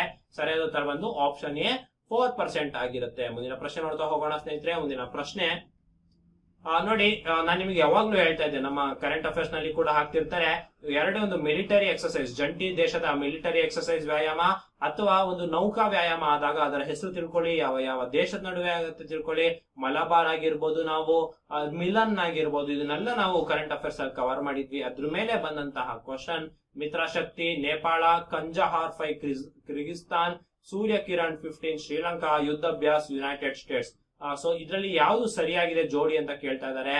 ಸೊ ಸ್ನೇಹಿತರೆ, ಈ ಮಿಲಿಟರಿ ಎಕ್ಸರ್ಸೈಸ್ಗಳಲ್ಲಿ ಯಾವ್ದು ಸರಿ ಇದೆ ಅಂತ ಹೇಳಿದ್ರೆ ಬಿ ಮತ್ತೆ ಡಿ ಸರಿ ಇದೆ ಯುದ್ಧಾಭ್ಯಾಸ ಯುನೈಟೆಡ್ ಸ್ಟೇಟ್ಸ್ ಹೌದು, ಕಂಜಹಾರ್, ಕಿರ್ಗಿಸ್ತಾನ್ ಹೌದು, ಇನ್ನೆರಡು ತಪ್ಪಿದೆ. ಸೊ ಇದ್ರ ಬಗ್ಗೆ ತಿಳಿದಿರ್ಲಿ, ಮುಂದಿನ ಪ್ರಶ್ನೆ ನೋಡ್ತಾ ಹೋಗೋಣ. ನೋಡಿ, ಮತ್ತೆ ಇಲ್ಲೊಂದು ನಮಗೆ ಮ್ಯಾಥ್ ದ ಫಾಲೋಯಿಂಗ್ ರೀತಿ ಪ್ರಶ್ನೆ ಬಂದಿದೆ. ಸೊ ನೋಡಿ ರಿವರ್ ಅನ್ನ ಕೊಟ್ಟಿದ್ದಾರೆ ಸೋರ್ಸ್ನ ಕೊಟ್ಟಿದ್ದಾರೆ. ಮಹಾನದಿ, ಮಹಾಬಲೇಶ್ವರ, ಗೋದಾವರಿ, ಅಮರ್ಕಂಟಕ, ಕೃಷ್ಣ ಸಿವಾಯಿ ನರ್ಮದಾ, ನಾಸಿಕ್, ತಪಿ ಮುಲ್ತಾಯ್ ಅಂತ ಹೇಳ್ಬಿಟ್ಟು. ಸೊ ನಿಮಗೆ ಇದರಲ್ಲಿ ಯಾವ್ದಾದ್ರು ಒಂದು ನದಿದ ಉಗಮ ಸ್ಥಾನ ಗೊತ್ತಿದ್ರೆ ಇನ್ನು ನೀವು ಗೆಸ್ ಮಾಡಬಹುದಾಗಿರುತ್ತೆ ಸೊ ಆನ್ಸರ್ ನಿಮಗೆ three four one two five ಆಗಿರುತ್ತೆ. ಸೊ ಯಾವ್ದಾದಂತ ನಿಮಗೆ ಹೇಳ್ತಾ ಹೋಗ್ತೀನಿ ನೋಡಿ. So three four one two five ನಿಮಗೆ ಆನ್ಸರ್ ಆಗಿರುತ್ತೆ. ಅಂದ್ರೆ ಮಹಾನದಿ ಬಂದು ಶಿವಾಯಿ ಅಲ್ಲಿ ಆಗತ್ತೆ. ಗೋದಾವರಿ ಬಂದು ನಾಸಿಕ್ನಲ್ಲಿ ಕೃಷ್ಣ ಬಂದು ಮಹಾಬಲೇಶ್ವರದಲ್ಲಿ, ನರ್ಮದಾ ಬಂದು ಅಮರ್ಕಂಟಕದಲ್ಲಿ, ತಪಿ ಬಂದು ಮುಲ್ತಾಯಲ್ಲಿ so three four one two five ಸರಿಯಾದ ಉತ್ತರ ಆಗಿರುತ್ತೆ. ಸೊ ಮುಂದಿನ ಪ್ರಶ್ನೆ ನೋಡ್ತಾ ಹೋಗೋಣ. ಮುಂದಿನ ಪ್ರಶ್ನೆ ನೋಡಿ, ಯಾವ ರೌಂಡ್ ಟೇಬಲ್ ಕಾನ್ಫರೆನ್ಸ್ನಲ್ಲಿ ಮಹಾತ್ಮ ಗಾಂಧಿ ಭಾಗವಹಿಸಿದ್ರು ಅಂತ ಹೇಳ್ಬಿಟ್ಟು ಕೇಳಲಾಗ್ತಾ ಇದೆ. ಸೊ ಇದೊಂದು modern Indian history question so Mahatma Gandhi ಯಾವ ರೌಂಡ್ ಟೇಬಲ್ ಕಾನ್ಫರೆನ್ಸ್ನಲ್ಲಿ ಭಾಗವಹಿಸಿದ್ರು ಅಂದ್ರೆ ನೈನ್ಟೀನ್ ತರ್ಟಿ ಒನ್ನಲ್ಲಿ. ಸೊ ಇದ್ರ ಬಗ್ಗೆ ನಿಮ್ಗೆ ತಿಳಿದಿರ್ಲಿ. ಮುಂದಿನ ಪ್ರಶ್ನೆ ನೋಡ್ತಾ ಹೋಗೋಣ. ಮುಂದಿನ ಪ್ರಶ್ನೆ the length of three sides of right angle triangle ಒಂದು ನೋಡಿ ರೈಟ್ ಆಂಗಲ್ ಟ್ರಯಾಂಗಲ್ ಇದೆಯಂತೆ. ಅದರ ಸೈಡ್ಸ್ ಅನ್ನ ಕೊಟ್ಟಿದ್ದಾರೆ. Two x minus three two x two x plus three ಅಂತ ಹೇಳ್ಬಿಟ್ಟು ಕೊಟ್ಟಿದ್ದಾರೆ. ಸೊ ಹಾಗಾದ್ರೆ ವ್ಯಾಲ್ಯೂ ಆಫ್ ಎಕ್ಸ್ ಎಷ್ಟು ಅಂತ ಕೇಳ್ತಾ ಇದ್ದಾರೆ. ಸೊ ವ್ಯಾಲ್ಯೂ ಆಫ್ ಎಕ್ಸ್ ಎಷ್ಟು ಅಂತ ಅಂತ. ನೀವು ಎಲಿಮಿನೇಷನ್ ಮೆಥಡ್ ಮಾಡಬಹುದು ಅಥವಾ ರೈಟ್ ಆಂಗಲ್ ಟ್ರಯಾಂಗಲ್ ಇರೋದ್ರಿಂದ ನೀವು ಪೈಥಾಗಿರಸ್ ಥಿಯರಮ್ ಅನ್ನ ಮಾಡಬಹುದು ಅಂದ್ರೆ two x minus three whole square plus two x plus three whole square is equal to square root of ಆಗುತ್ತೆ ಅಥವಾ ಟೂ ಎಕ್ಸ್ ಸ್ಕ್ವೇರ್ ಕೂಡ ಆಗುತ್ತೆ. ಸೊ ನೀವು ಇದನ್ನ ನೀವು ಸಾಲ್ವ್ ಮಾಡಿದ್ರಿ ಈಕ್ವೇಶನ್ ನಿಮಗೆ ಸಿಕ್ಸ್ ಅಂತ ಆನ್ಸರ್ ಬರುತ್ತೆ. ಇದ್ರ ಬಗ್ಗೆ ತಿಳಿದಿರ್ಲಿ, ಮುಂದಿನ ಪ್ರಶ್ನೆ ನೋಡ್ತಾ ಹೋಗೋಣ. ಮುಂದಿನ ಪ್ರಶ್ನೆ Kappatta Gudda wild life sanctuary is in ಅಂತ ಹೇಳ್ಬಿಟ್ಟು ಗದಗಲ್ಲಿದೆ. ನೀವು ವೈಲ್ಡ್ ಲೈಫ್ ಸ್ಯಾಂಚುರಿ ಬಗ್ಗೆ ಓದ್ಕೋಬೇಕಾಗತ್ತೆ. ಸೊ ಕರ್ನಾಟಕದಲ್ಲಿರೋ ಎಲ್ಲ ನ್ಯಾಷನಲ್ ಪಾರ್ಕ್ಸ್ ಹುಲಿ ಅಭಯಾರಣ್ಯಗಳು ವೈಲ್ಡ್ ಲೈಫ್ ಸ್ಯಾಂಚುರಿಗಳು ಎಲ್ಲದನ್ನ ಪಟ್ಟಿ ಮಾಡಿ ಓದಿ. So next moth balls contain naphthalene ನಿಮ್ಗೆ ಗೊತ್ತು ನ್ಯಾಪ್ತಲಿನ್ ಬಾಲ್ಸ್ ಅಂತ ಕುಡಿತಾರೆ ಮಾತ್ ಬಾಲ್ಸ್ಗೆ. ಗೊತ್ತಿರುತ್ತೆ, ಮುಂದಿನ ಪ್ರಶ್ನೆ ನೋಡೋಣ. ಸೊ ಯಾವ ಹೊಯ್ಸಳ ಕ್ವೀನಿಗೆ ಸವತಿ ಗಂಧರವಾಣಿ ಅಂತ ಕರೀತಾರೆ ಅಂದ್ರೆ ನಮ್ಮ ಶಾಂತಲೆಗೆ ಕರೀತಾರೆ. ಶಾಂತಲೆಯನ್ನೇ ನೋಡಿ ನಮ್ಮ ಬೇಲೂರು ಹಳೆಬೀಡಿನ ಶಿಲಾಬಾಲಕಿಯರನ್ನ ಕೆತ್ತಿದ್ದಾರೆ. ಸೊ ಅವರಿಗೆ ಸವತಿ ಗಂಧವರಣೆ ಕರೀತಾರೆ. ಬಿಕಾಸ್ ನಿಮ್ಗೆ ನೋಡಿ ಗೊತ್ತಿರ್ಬೋದು, ಹೊಯ್ಸಳ ವಿಷ್ಣುವರ್ಧನನ ಪ್ರೇಯಸಿ ಶಾಂತಲೆ ಆಗಿರ್ತಾಳೆ, ಹೊಯ್ಸಳ ರಾಣಿ ಆಗಿರ್ತಾಳೆ ಶಾಂತಲೆ. ಸೊ ಯಾ ನಾವ್ ಇವೊಂದು ನಮ್ಮ ವಿಷ್ಣುವರ್ಧನ ಬಿಟ್ಟಿಗ ಅಥವಾ ಬಿಟ್ಟಿದೇವ ಅಂತ ಏನ್ ಕರಿತೀವಿ? ಅವ ರಾಮಾನುಜಾಚಾರ್ಯರ ಒಂದು ಆಶ್ರಯ ಮೇರೆಗೆ ವೈಷ್ಣವ ಧರ್ಮಕ್ಕೆ ಮತಾಂತರನಾಗಿ ವಿಷ್ಣುವರ್ಧನ ಅಂತ ಹೆಸರು ತಗೊಳ್ತಾನೆ. ಆದ್ರೆ, ಅವನ ರಾಣಿ ಶಾಂತಲೆ ಇನ್ನೂ ಕೂಡ ಜೈನಳಾಗಿರ್ತಾಳೆ. ಅವಳಿಗೆ ಧರ್ಮೇಶ್ವರಿ, ದೇವಲಭ್ಯ, ವರಪ್ರಸಾದೆ ಅಂತ ಕರೀತಿರ್ತಾರೆ. ಸೊ ಶಾಂತಲೆಗೆ ಸವತಿ ಗಂಧವರ್ಣ ಬಸದಿಯನ್ನ ಕಟ್ಟಿಸ್ತಾಳೆ. ಸೊ ಹಾಗಾಗಿ ಈ ಬಸದಿಯನ್ನ ಕಟ್ಟಿಸೋದ್ರಿಂದ ಸವತಿ ಗಂಧರವಣೆ ಅಂತ ಕರೀತಾರೆ. ಶಾಂತಲೆ ಸರಿಯಾದ ಉತ್ತರ. ಮುಂದಿನ ಪ್ರಶ್ನೆ ನೋಡೋಣ. ನೋಡಿ, ಒಂದು ಆನೆ ಇದೆಯಂತೆ. ಸೊ ಆನೆ ಒಂದು ದಿನಕ್ಕೆ ಐದು ಬಾಳೆಹಣ್ಣು ತಿನ್ನುತ್ತಂತೆ. ಸೊ ಐದು ಬಾಳೆಹಣ್ಣು ತಿಂತಂತೆ ಮೊದಲನೇ ದಿನ. ಎರಡನೇ ದಿನಕ್ಕೆ, ಆ ಹಿಂದಿನ ದಿನ ತಿಂದಂತಷ್ಟು ಡಬಲ್ ಬಾಳೆಹಣ್ಣು ತಿನ್ನುತ್ತಂತೆ. ಸೊ ಹಾಗಾದ್ರೆ ಹತ್ತನೇ ದಿನಕ್ಕೆ ಎಷ್ಟು ಬಾಳೆಹಣ್ಣು ತಿನ್ನುತ್ತೆ ಅಂತ ಹೇಳ್ಬಿಟ್ಟು ಪ್ರಶ್ನೆ, ಇದನ್ನ ನೀವು ಸೀಕ್ವೆನ್ಸ್ ಅಲ್ಲಿ ಮಾಡಿದ್ರಿ ಅಂತ ಹೇಳಿದ್ರೆ ನಿಮಗೆ ಆನ್ಸರ್ ಬಂದ್ಬಿಟ್ಟು ಟೂ ಫೈವ್ ಸಿಕ್ಸ್ ಜೀರೋ ಬರುತ್ತೆ. ಸೊ ಇದನ್ನ ಸೀಕ್ವೆನ್ಸ್ ಅಂಡ್ ಸೀರೀಸ್ ಅಲ್ಲಿ ಬಂದಂತಹ ಒಂದು ಲೆಕ್ಕ ನಿಮ್ಗೆ ತಿಳಿದಿರಲಿ. ಮುಂದಿನ ಪ್ರಶ್ನೆ ನೋಡೋಣ. ಸೊ ಮುಂದಿನ ಪ್ರಶ್ನೆ which of the flowing plants is used in green manuring green manuring ಮಾಡ್ಲಿಕ್ಕೆ ಯಾವ್ದನ್ನ ಉಪಯೋಗಿಸ್ತಾರೆ ಅಂದ್ರೆ ಸನ್ ಹೆಂಪ್ ಅನ್ನ ಉಪಯೋಗಿಸ್ತಾರೆ ಇದ್ರ ಬಗ್ಗೆ ತಿಳಿದಿರಲಿ ಮುಂದಿನ ಪ್ರಶ್ನೆ ನೋಡೋಣ which is what is the theme of economic survey twenty twenty twenty twenty one ನೋಡಿ, ಎರಡ್ ಸಾವಿರದ ಇಪ್ಪತ್ತು, ಇಪ್ಪತ್ತೊಂದರ ಎಕನಾಮಿಕ್ ಸರ್ವೆಯ ಥೀಮ್ ಏನು ಅಂತ? ಈಗ ಆಲ್ರೆಡಿ ಇಪ್ಪತ್ತೊಂದು, ಇಪ್ಪತ್ತೆರಡು ಇಪ್ಪತ್ತೆರಡು ಇಪ್ಪತ್ತ್ ಮೂರು ಎಕನಾಮಿಕ್ ಸರ್ವೆ ಕೂಡ ಹೊರಗೆ ಬಂದಿದೆ. ಇದು ತುಂಬಾ ಹಳೆಯ ಪ್ರಶ್ನೆ ಬಟ್ ಇದನ್ನ ಥೀಮ್ ಅನ್ನ ಕೇಳಿದ್ದಾರೆ ಆನ್ಸರ್ ಬಂದ್ಬಿಟ್ಟು ಸೇವಿಂಗ್ ಲೈಫ್ಸ್ ಅಂಡ್ ಲೈವ್ಲಿಹುಡ್ಸ್ ಆಗಿರುತ್ತೆ. ಮುಂದಿನ ಪ್ರಶ್ನೆ ನೋಡ್ತಾ ಹೋಗೋಣ. ಕೋವಿಡ್ ನೈನ್ಟೀನ್ ಕ್ರೈಸಿಸ್ ಅಲ್ಲಿ which sector has remained in silver lining ನೋಡಿ ಕೋವಿಡ್ ನೈನ್ಟೀನ್ ಬಂದು ಎಲ್ಲ ಕ್ಷೇತ್ರದಲ್ಲೂ ಅದು ಹೊಡೆತವನ್ನ ಕೊಡ್ತು. ಆದ್ರೆ ಯಾವ ಸೆಕ್ಟರ್ ಹಾಗೆ ಇತ್ತು ಅಂದ್ರೆ ಅಗ್ರಿಕಲ್ಚರಲ್ ಸೆಕ್ಟರ್ ಹಾಗೆ ಇತ್ತು. ಸರ್ವಿಸ್ ಸೆಕ್ಟರ್ ಹೋಯ್ತು ಮ್ಯಾನುಫ್ಯಾಕ್ಚರಿಂಗ್ ಸೆಕ್ಟರ್ ಹೋಯ್ತು ಕನ್ಸ್ಟ್ರಕ್ಷನ್ ಸೆಕ್ಟರ್ ಕೂಡ ಹೋಗಿತ್ತು ಕೋವಿಡ್ ಅಲ್ಲಿ. ಯಾವ್ದು ಉಳ್ಕೊಂಡಿತ್ತು ಅಂದ್ರೆ ಅಗ್ರಿಕಲ್ಚರ್ ಸೆಕ್ಟರ್ ನೋಡಿ, ಯಾವುದು ಮೋಸ್ಟ್ ಪೆನೆಟ್ರೇಟಿಂಗ್ ಪವರ್ ಯಾವ್ದಕ್ಕಿದೆ ಅಂತ ಹೇಳಿದ್ರೆ ಗಾಮಾ ಇದೆ ನೀವು ಪಿ ಯು ಸಿಯಲ್ಲಿ ಅಥವಾ ಸ್ಕೂಲ್ ಅಲ್ಲಿ ಓದ್ಬೇಕಾದ್ರೆ ಆಲ್ಫಾ ಬೀಟಾ ಗಾಮಾ ರೇಸ್ ಅನ್ನ ಓದಿರ್ತೀರಾ. ಗಾಮಾ ರೇಸ್ ಮೋಸ್ಟ್ ಪೆನೆಟ್ರೇಟಿಂಗ್ ಅಂತ ಓದಿರ್ತೀರಾ. So alpha particle scattering experiment ಅನ್ನ ಮಾಡಿದಾಗ ಇದು ಗೊತ್ತಾಗಿರುತ್ತೆ. ಸೊ ಮುಂದಿನ ಪ್ರಶ್ನೆ ನೋಡೋಣ what is the following is not an alliance ಅಂತ. ಯಾವುದು ಅಲಿಯನ್ಸ್ ಅಲ್ಲ ಅಂತ ಕೇಳ್ತಾ ಇದ್ದಾರೆ. ಸೊ ನೋಡಿ ಇಲ್ಲಿ ನ್ಯಾಟೋ ಒಂದು ಅಲಿಯನ್ಸ್ ಒಂದು ಡಿಫೆನ್ಸ್ ಅಲಿಯನ್ಸ್ ಸಿಯಾಟೋ ಹೌದು ಸೆಂಟೋ ಹೌದು, ಯಾವ್ದಲ್ಲ ಅಂದ್ರೆ ಡಬ್ಲ್ಯೂ ಟಿಒ ಡಬ್ಲ್ಯೂ ಟಿಒ ಅಂದ್ರೆ ವರ್ಲ್ಡ್ ಟ್ರೇಡ್ ಆರ್ಗನೈಸೇಷನ್ ಆಗಿರುತ್ತೆ. ಇದೊಂದು ಅಲಿಯನ್ಸ್ ಅಲ್ಲ, ಇದೊಂದು ಒಕ್ಕೂಟ ಅಲ್ಲ ಬಟ್ ಇದು ಇನ್ಸ್ಟೆಡ್ ವರ್ಲ್ಡ್ ಟ್ರೇಡ್ ಆರ್ಗನೈಸೇಷನ್ ಆಗಿರುತ್ತೆ. ಸೊ ಮುಂದಿನ ಪ್ರಶ್ನೆ ನೋಡೋಣ. ಇಲ್ಲಿ ಕೂಡ ನೋಡಿ ಏಜಸ್ ಮೇಲೆ ಇರುವಂತ ಲೆಕ್ಕ. ನೋಡಿ average age of A and B A and B average age ಇಪ್ಪತ್ನಾಲ್ಕು ಅಂತೆ ಬಿ ಸಿ ಡಿದು ಆವರೇಜ್ ಏಜು ಇಪ್ಪತ್ತೆರಡಂತೆ. ಸೊ ಬಿದು ಏಜ್ ಹದ್ನಾಲ್ಕಂತೆ. ಹಾಗಾದ್ರೆ A plus B plus C plus D ಎಷ್ಟು ಅಂತ ಕೇಳಲಾಗ್ತದೆ. ನೋಡಿ, ಇಲ್ಲಿ ಬರ್ದಿರೋದನ್ನ ಸಾಲ್ವ್ ಮಾಡ್ಬಿಟ್ರೆ ನಿಮ್ಗೆ ಆನ್ಸರ್ ಸಿಕ್ಬಿಡುತ್ತೆ. ನೋಡಿ, ಇಲ್ಲಿ ಬಿ ಹದಿನಾಲ್ಕು ಅಂತ ಕೊಟ್ಟಿದ್ದಾರೆ. ಸೊ ನಾವಿಲ್ಲಿ ಮಾಡ್ಬಿಟ್ರೆ B by two is equal to twenty four ಅಂತ ಏನಿದೆ ಇದನ್ನ ಆ ಕಡೆ ಕಳಿಸಿ. A plus B is equal to twenty four into two forty eight ಆಗಿರುತ್ತೆ. ಸೊ ಬಿ ಹದಿನಾಲ್ಕು ಅಂತ ಗೊತ್ತು. So forty eight minus fourteen ಮಾಡಿದ್ರೆ ನಮಗೆ ಫೋರ್ ತ್ರೀ ತರ್ಟಿ ಫೋರ್ ಆಗುತ್ತೆ. ಸೊ ಎ ನ ಏಜ್ ತರ್ಟಿ ಫೋರ್ ಅಂತ ಗೊತ್ತಾಯ್ತು. ಸೊ ಬಿ ನ ಏಜ್ ನಮಗೆ ಅವರೇ ಕೊಟ್ಟಿದ್ದಾರೆ. ಫೋರ್ಟೀನ್ ಅಂತ. ಇನ್ನು ಸಿ ಪ್ಲಸ್ ಡಿ ಕಂಡುಹಿಡಿಬೇಕು. ಸೊ ಬಿ ನ ಏಜ್ ಹದ್ನಾಲ್ಕು ಅಂತ ಗೊತ್ತು. C plus D by three is equal to twenty two ಅಂತ ಹೇಳ್ಬಿಟ್ಟು. ಸೊ ನೋಡಿ ನಾವಿಲ್ಲಿ ಸಾಲ್ವ್ ಮಾಡೋದೇನ್ ಬೇಡ. ಯಾಕಂದ್ರೆ ನಮಗೆ ಒಟ್ಟಾರೆಯಾಗಿ ಸಮ್ ಒಂದು ಕಂಡುಹಿಡಬೇಕಾಗಿದೆ. ಸೊ ಹಾಗಾಗಿ ಇದನ್ನ ಮಾಡಿದ್ರೆ ಸಿಕ್ಸ್ಟಿ ಸಿಕ್ಸ್ ಬರುತ್ತೆ. ಸೊ ಫಾರ್ಟೀನ್ ಪ್ಲಸ್ ನಮಗೆ ಸಿ ಪ್ಲಸ್ ಡಿ ಅಂದ್ರೆ C plus D is equal to sixty six minus fourteen ಅಂದ್ರೆ ಸಿಕ್ಸ್ಟಿ ಟು ಮತ್ತೆ ಫಿಫ್ಟಿ ಟೂ ಬರುತ್ತೆ. So fifty two plus thirty four plus fourteen so ಮಾಡಿದ್ರೆ ನಮಗೆ ಸಿಕ್ಬಿಡುತ್ತೆ. So ಏನು ಅಂತ ಹೇಳಿದ್ರೆ six plus four ten five plus three plus one plus one is ten eight nine ten ಬರುತ್ತೆ. ಸೊ ಹಂಡ್ರೆಡ್ ನಮಗೆ ಸರಿಯಾದಾಗುತ್ತೆ. ನೀವು ಲೆಕ್ಕ ಮಾಡಿದ್ರೆ ನಿಮಗೆ ಗೊತ್ತಾಗುತ್ತೆ ಸರಿಯಾದ ಉತ್ತರ ಬಂದು ಹಂಡ್ರೆಡ್ ಆಗಿರುತ್ತೆ. ಸೊ ಮುಂದಿನ ಪ್ರಶ್ನೆ ನೋಡ್ತಾ ಹೋಗೋಣ. ನೋಡಿ main components of a physical policy physical policy financial policy ಅಂತ ಹೇಳ್ತಾರೆ. ಅದ್ರದ್ದು ಮೇನ್ ಪಾಲಿಸಿ ಏನಾಗಿರುತ್ತೆ ಅಂದ್ರೆ ಟ್ಯಾಕ್ಸ್ ಹೌದು ಪಬ್ಲಿಕ್ ಎಕ್ಸ್ಪೆಂಡಿಚರ್ ಹೌದು ಪಬ್ಲಿಕ್ ಡೆಟ್ ಹೌದು. ಸೊ ಹಾಗಾಗಿ ಆಪ್ಷನ್ ಏನೇ ಸರಿಯಾಗಿರುತ್ತೆ, ಮುಂದಿನ ಪ್ರಶ್ನೆ ನೋಡ್ತಾ ಹೋಗೋಣ. ಮುಂದಿನ ಪ್ರಶ್ನೆ ನೋಡಿ, ಗಂಗಾ ಕಲ್ಯಾಣ ಸ್ಕೀಮ್ನಲ್ಲಿ ಕರ್ನಾಟಕ ಯಾವ ಪರ್ಪಸ್ ಅಲ್ಲಿ ಮಾಡಲಾಗ್ತದೆ ಅಂತ. Free borewell drilling surface water supply lift irrigation scheme lake restoration so Ganga ಕಲ್ಯಾಣದಲ್ಲಿ ಇದು ಯಾವ್ದು ಬರುತ್ತೆ ಅಂತ ಹೇಳಿ. ಸೊ ಸರಿಯಾದ ಉತ್ತರ ಬಂದ್ಬಿಟ್ಟು ಫ್ರೀ ಬೋರ್ವೆಲ್ ಡ್ರಿಲ್ಲಿಂಗ್ ಏನು ಫ್ರೀ ಬೋರ್ವೆಲ್ ಮಾಡ್ತಾರೆ? ಅದು ಗಂಗಾ ಕಲ್ಯಾಣ ಸ್ಕೀಮ್ ಅಡಿಯಲ್ಲಿ ಬರುತ್ತೆ. ಇದ್ರ ಬಗ್ಗೆ ತಿಳಿದಿರ್ಲಿ. ಮುಂದಿನ ಪ್ರಶ್ನೆ ನೋಡೋಣ. ಮತ್ತೆ ಮೆಂಟಾಲಿಬಿಟಿ ಪ್ರಶ್ನೆಯನ್ನ ಕೇಳಿದ್ದಾರೆ. Sum of numbers is ninety seven ಅಂತೆ. ಎರಡು ನಂಬರ್ ಇದೆ. ಎ ಮತ್ತೆ ಬಿ ಅದರ ಸಮ್ ನೈಂಟಿ ಸೆವೆನ್ ಅಂತೆ. ಅದರ ಡಿಫರೆನ್ಸ್ ತರ್ಟಿ ಸೆವೆನ್ ಅಂತೆ. ಸೊ ಹಾಗಾದ್ರೆ ಅದರ ಪ್ರಾಡಕ್ಟ್ ಎಷ್ಟು ಅಂತ ಕೇಳ್ತಾ ಇದ್ದಾರೆ. ಸೊ ಇದನ್ನ ನೀವು ಸಾಲ್ವ್ ಮಾಡಿದ್ರೆ ನಿಮಗೆ ಎರಡ್ ಸಾವಿರದ ಹತ್ತು ಬರುತ್ತೆ.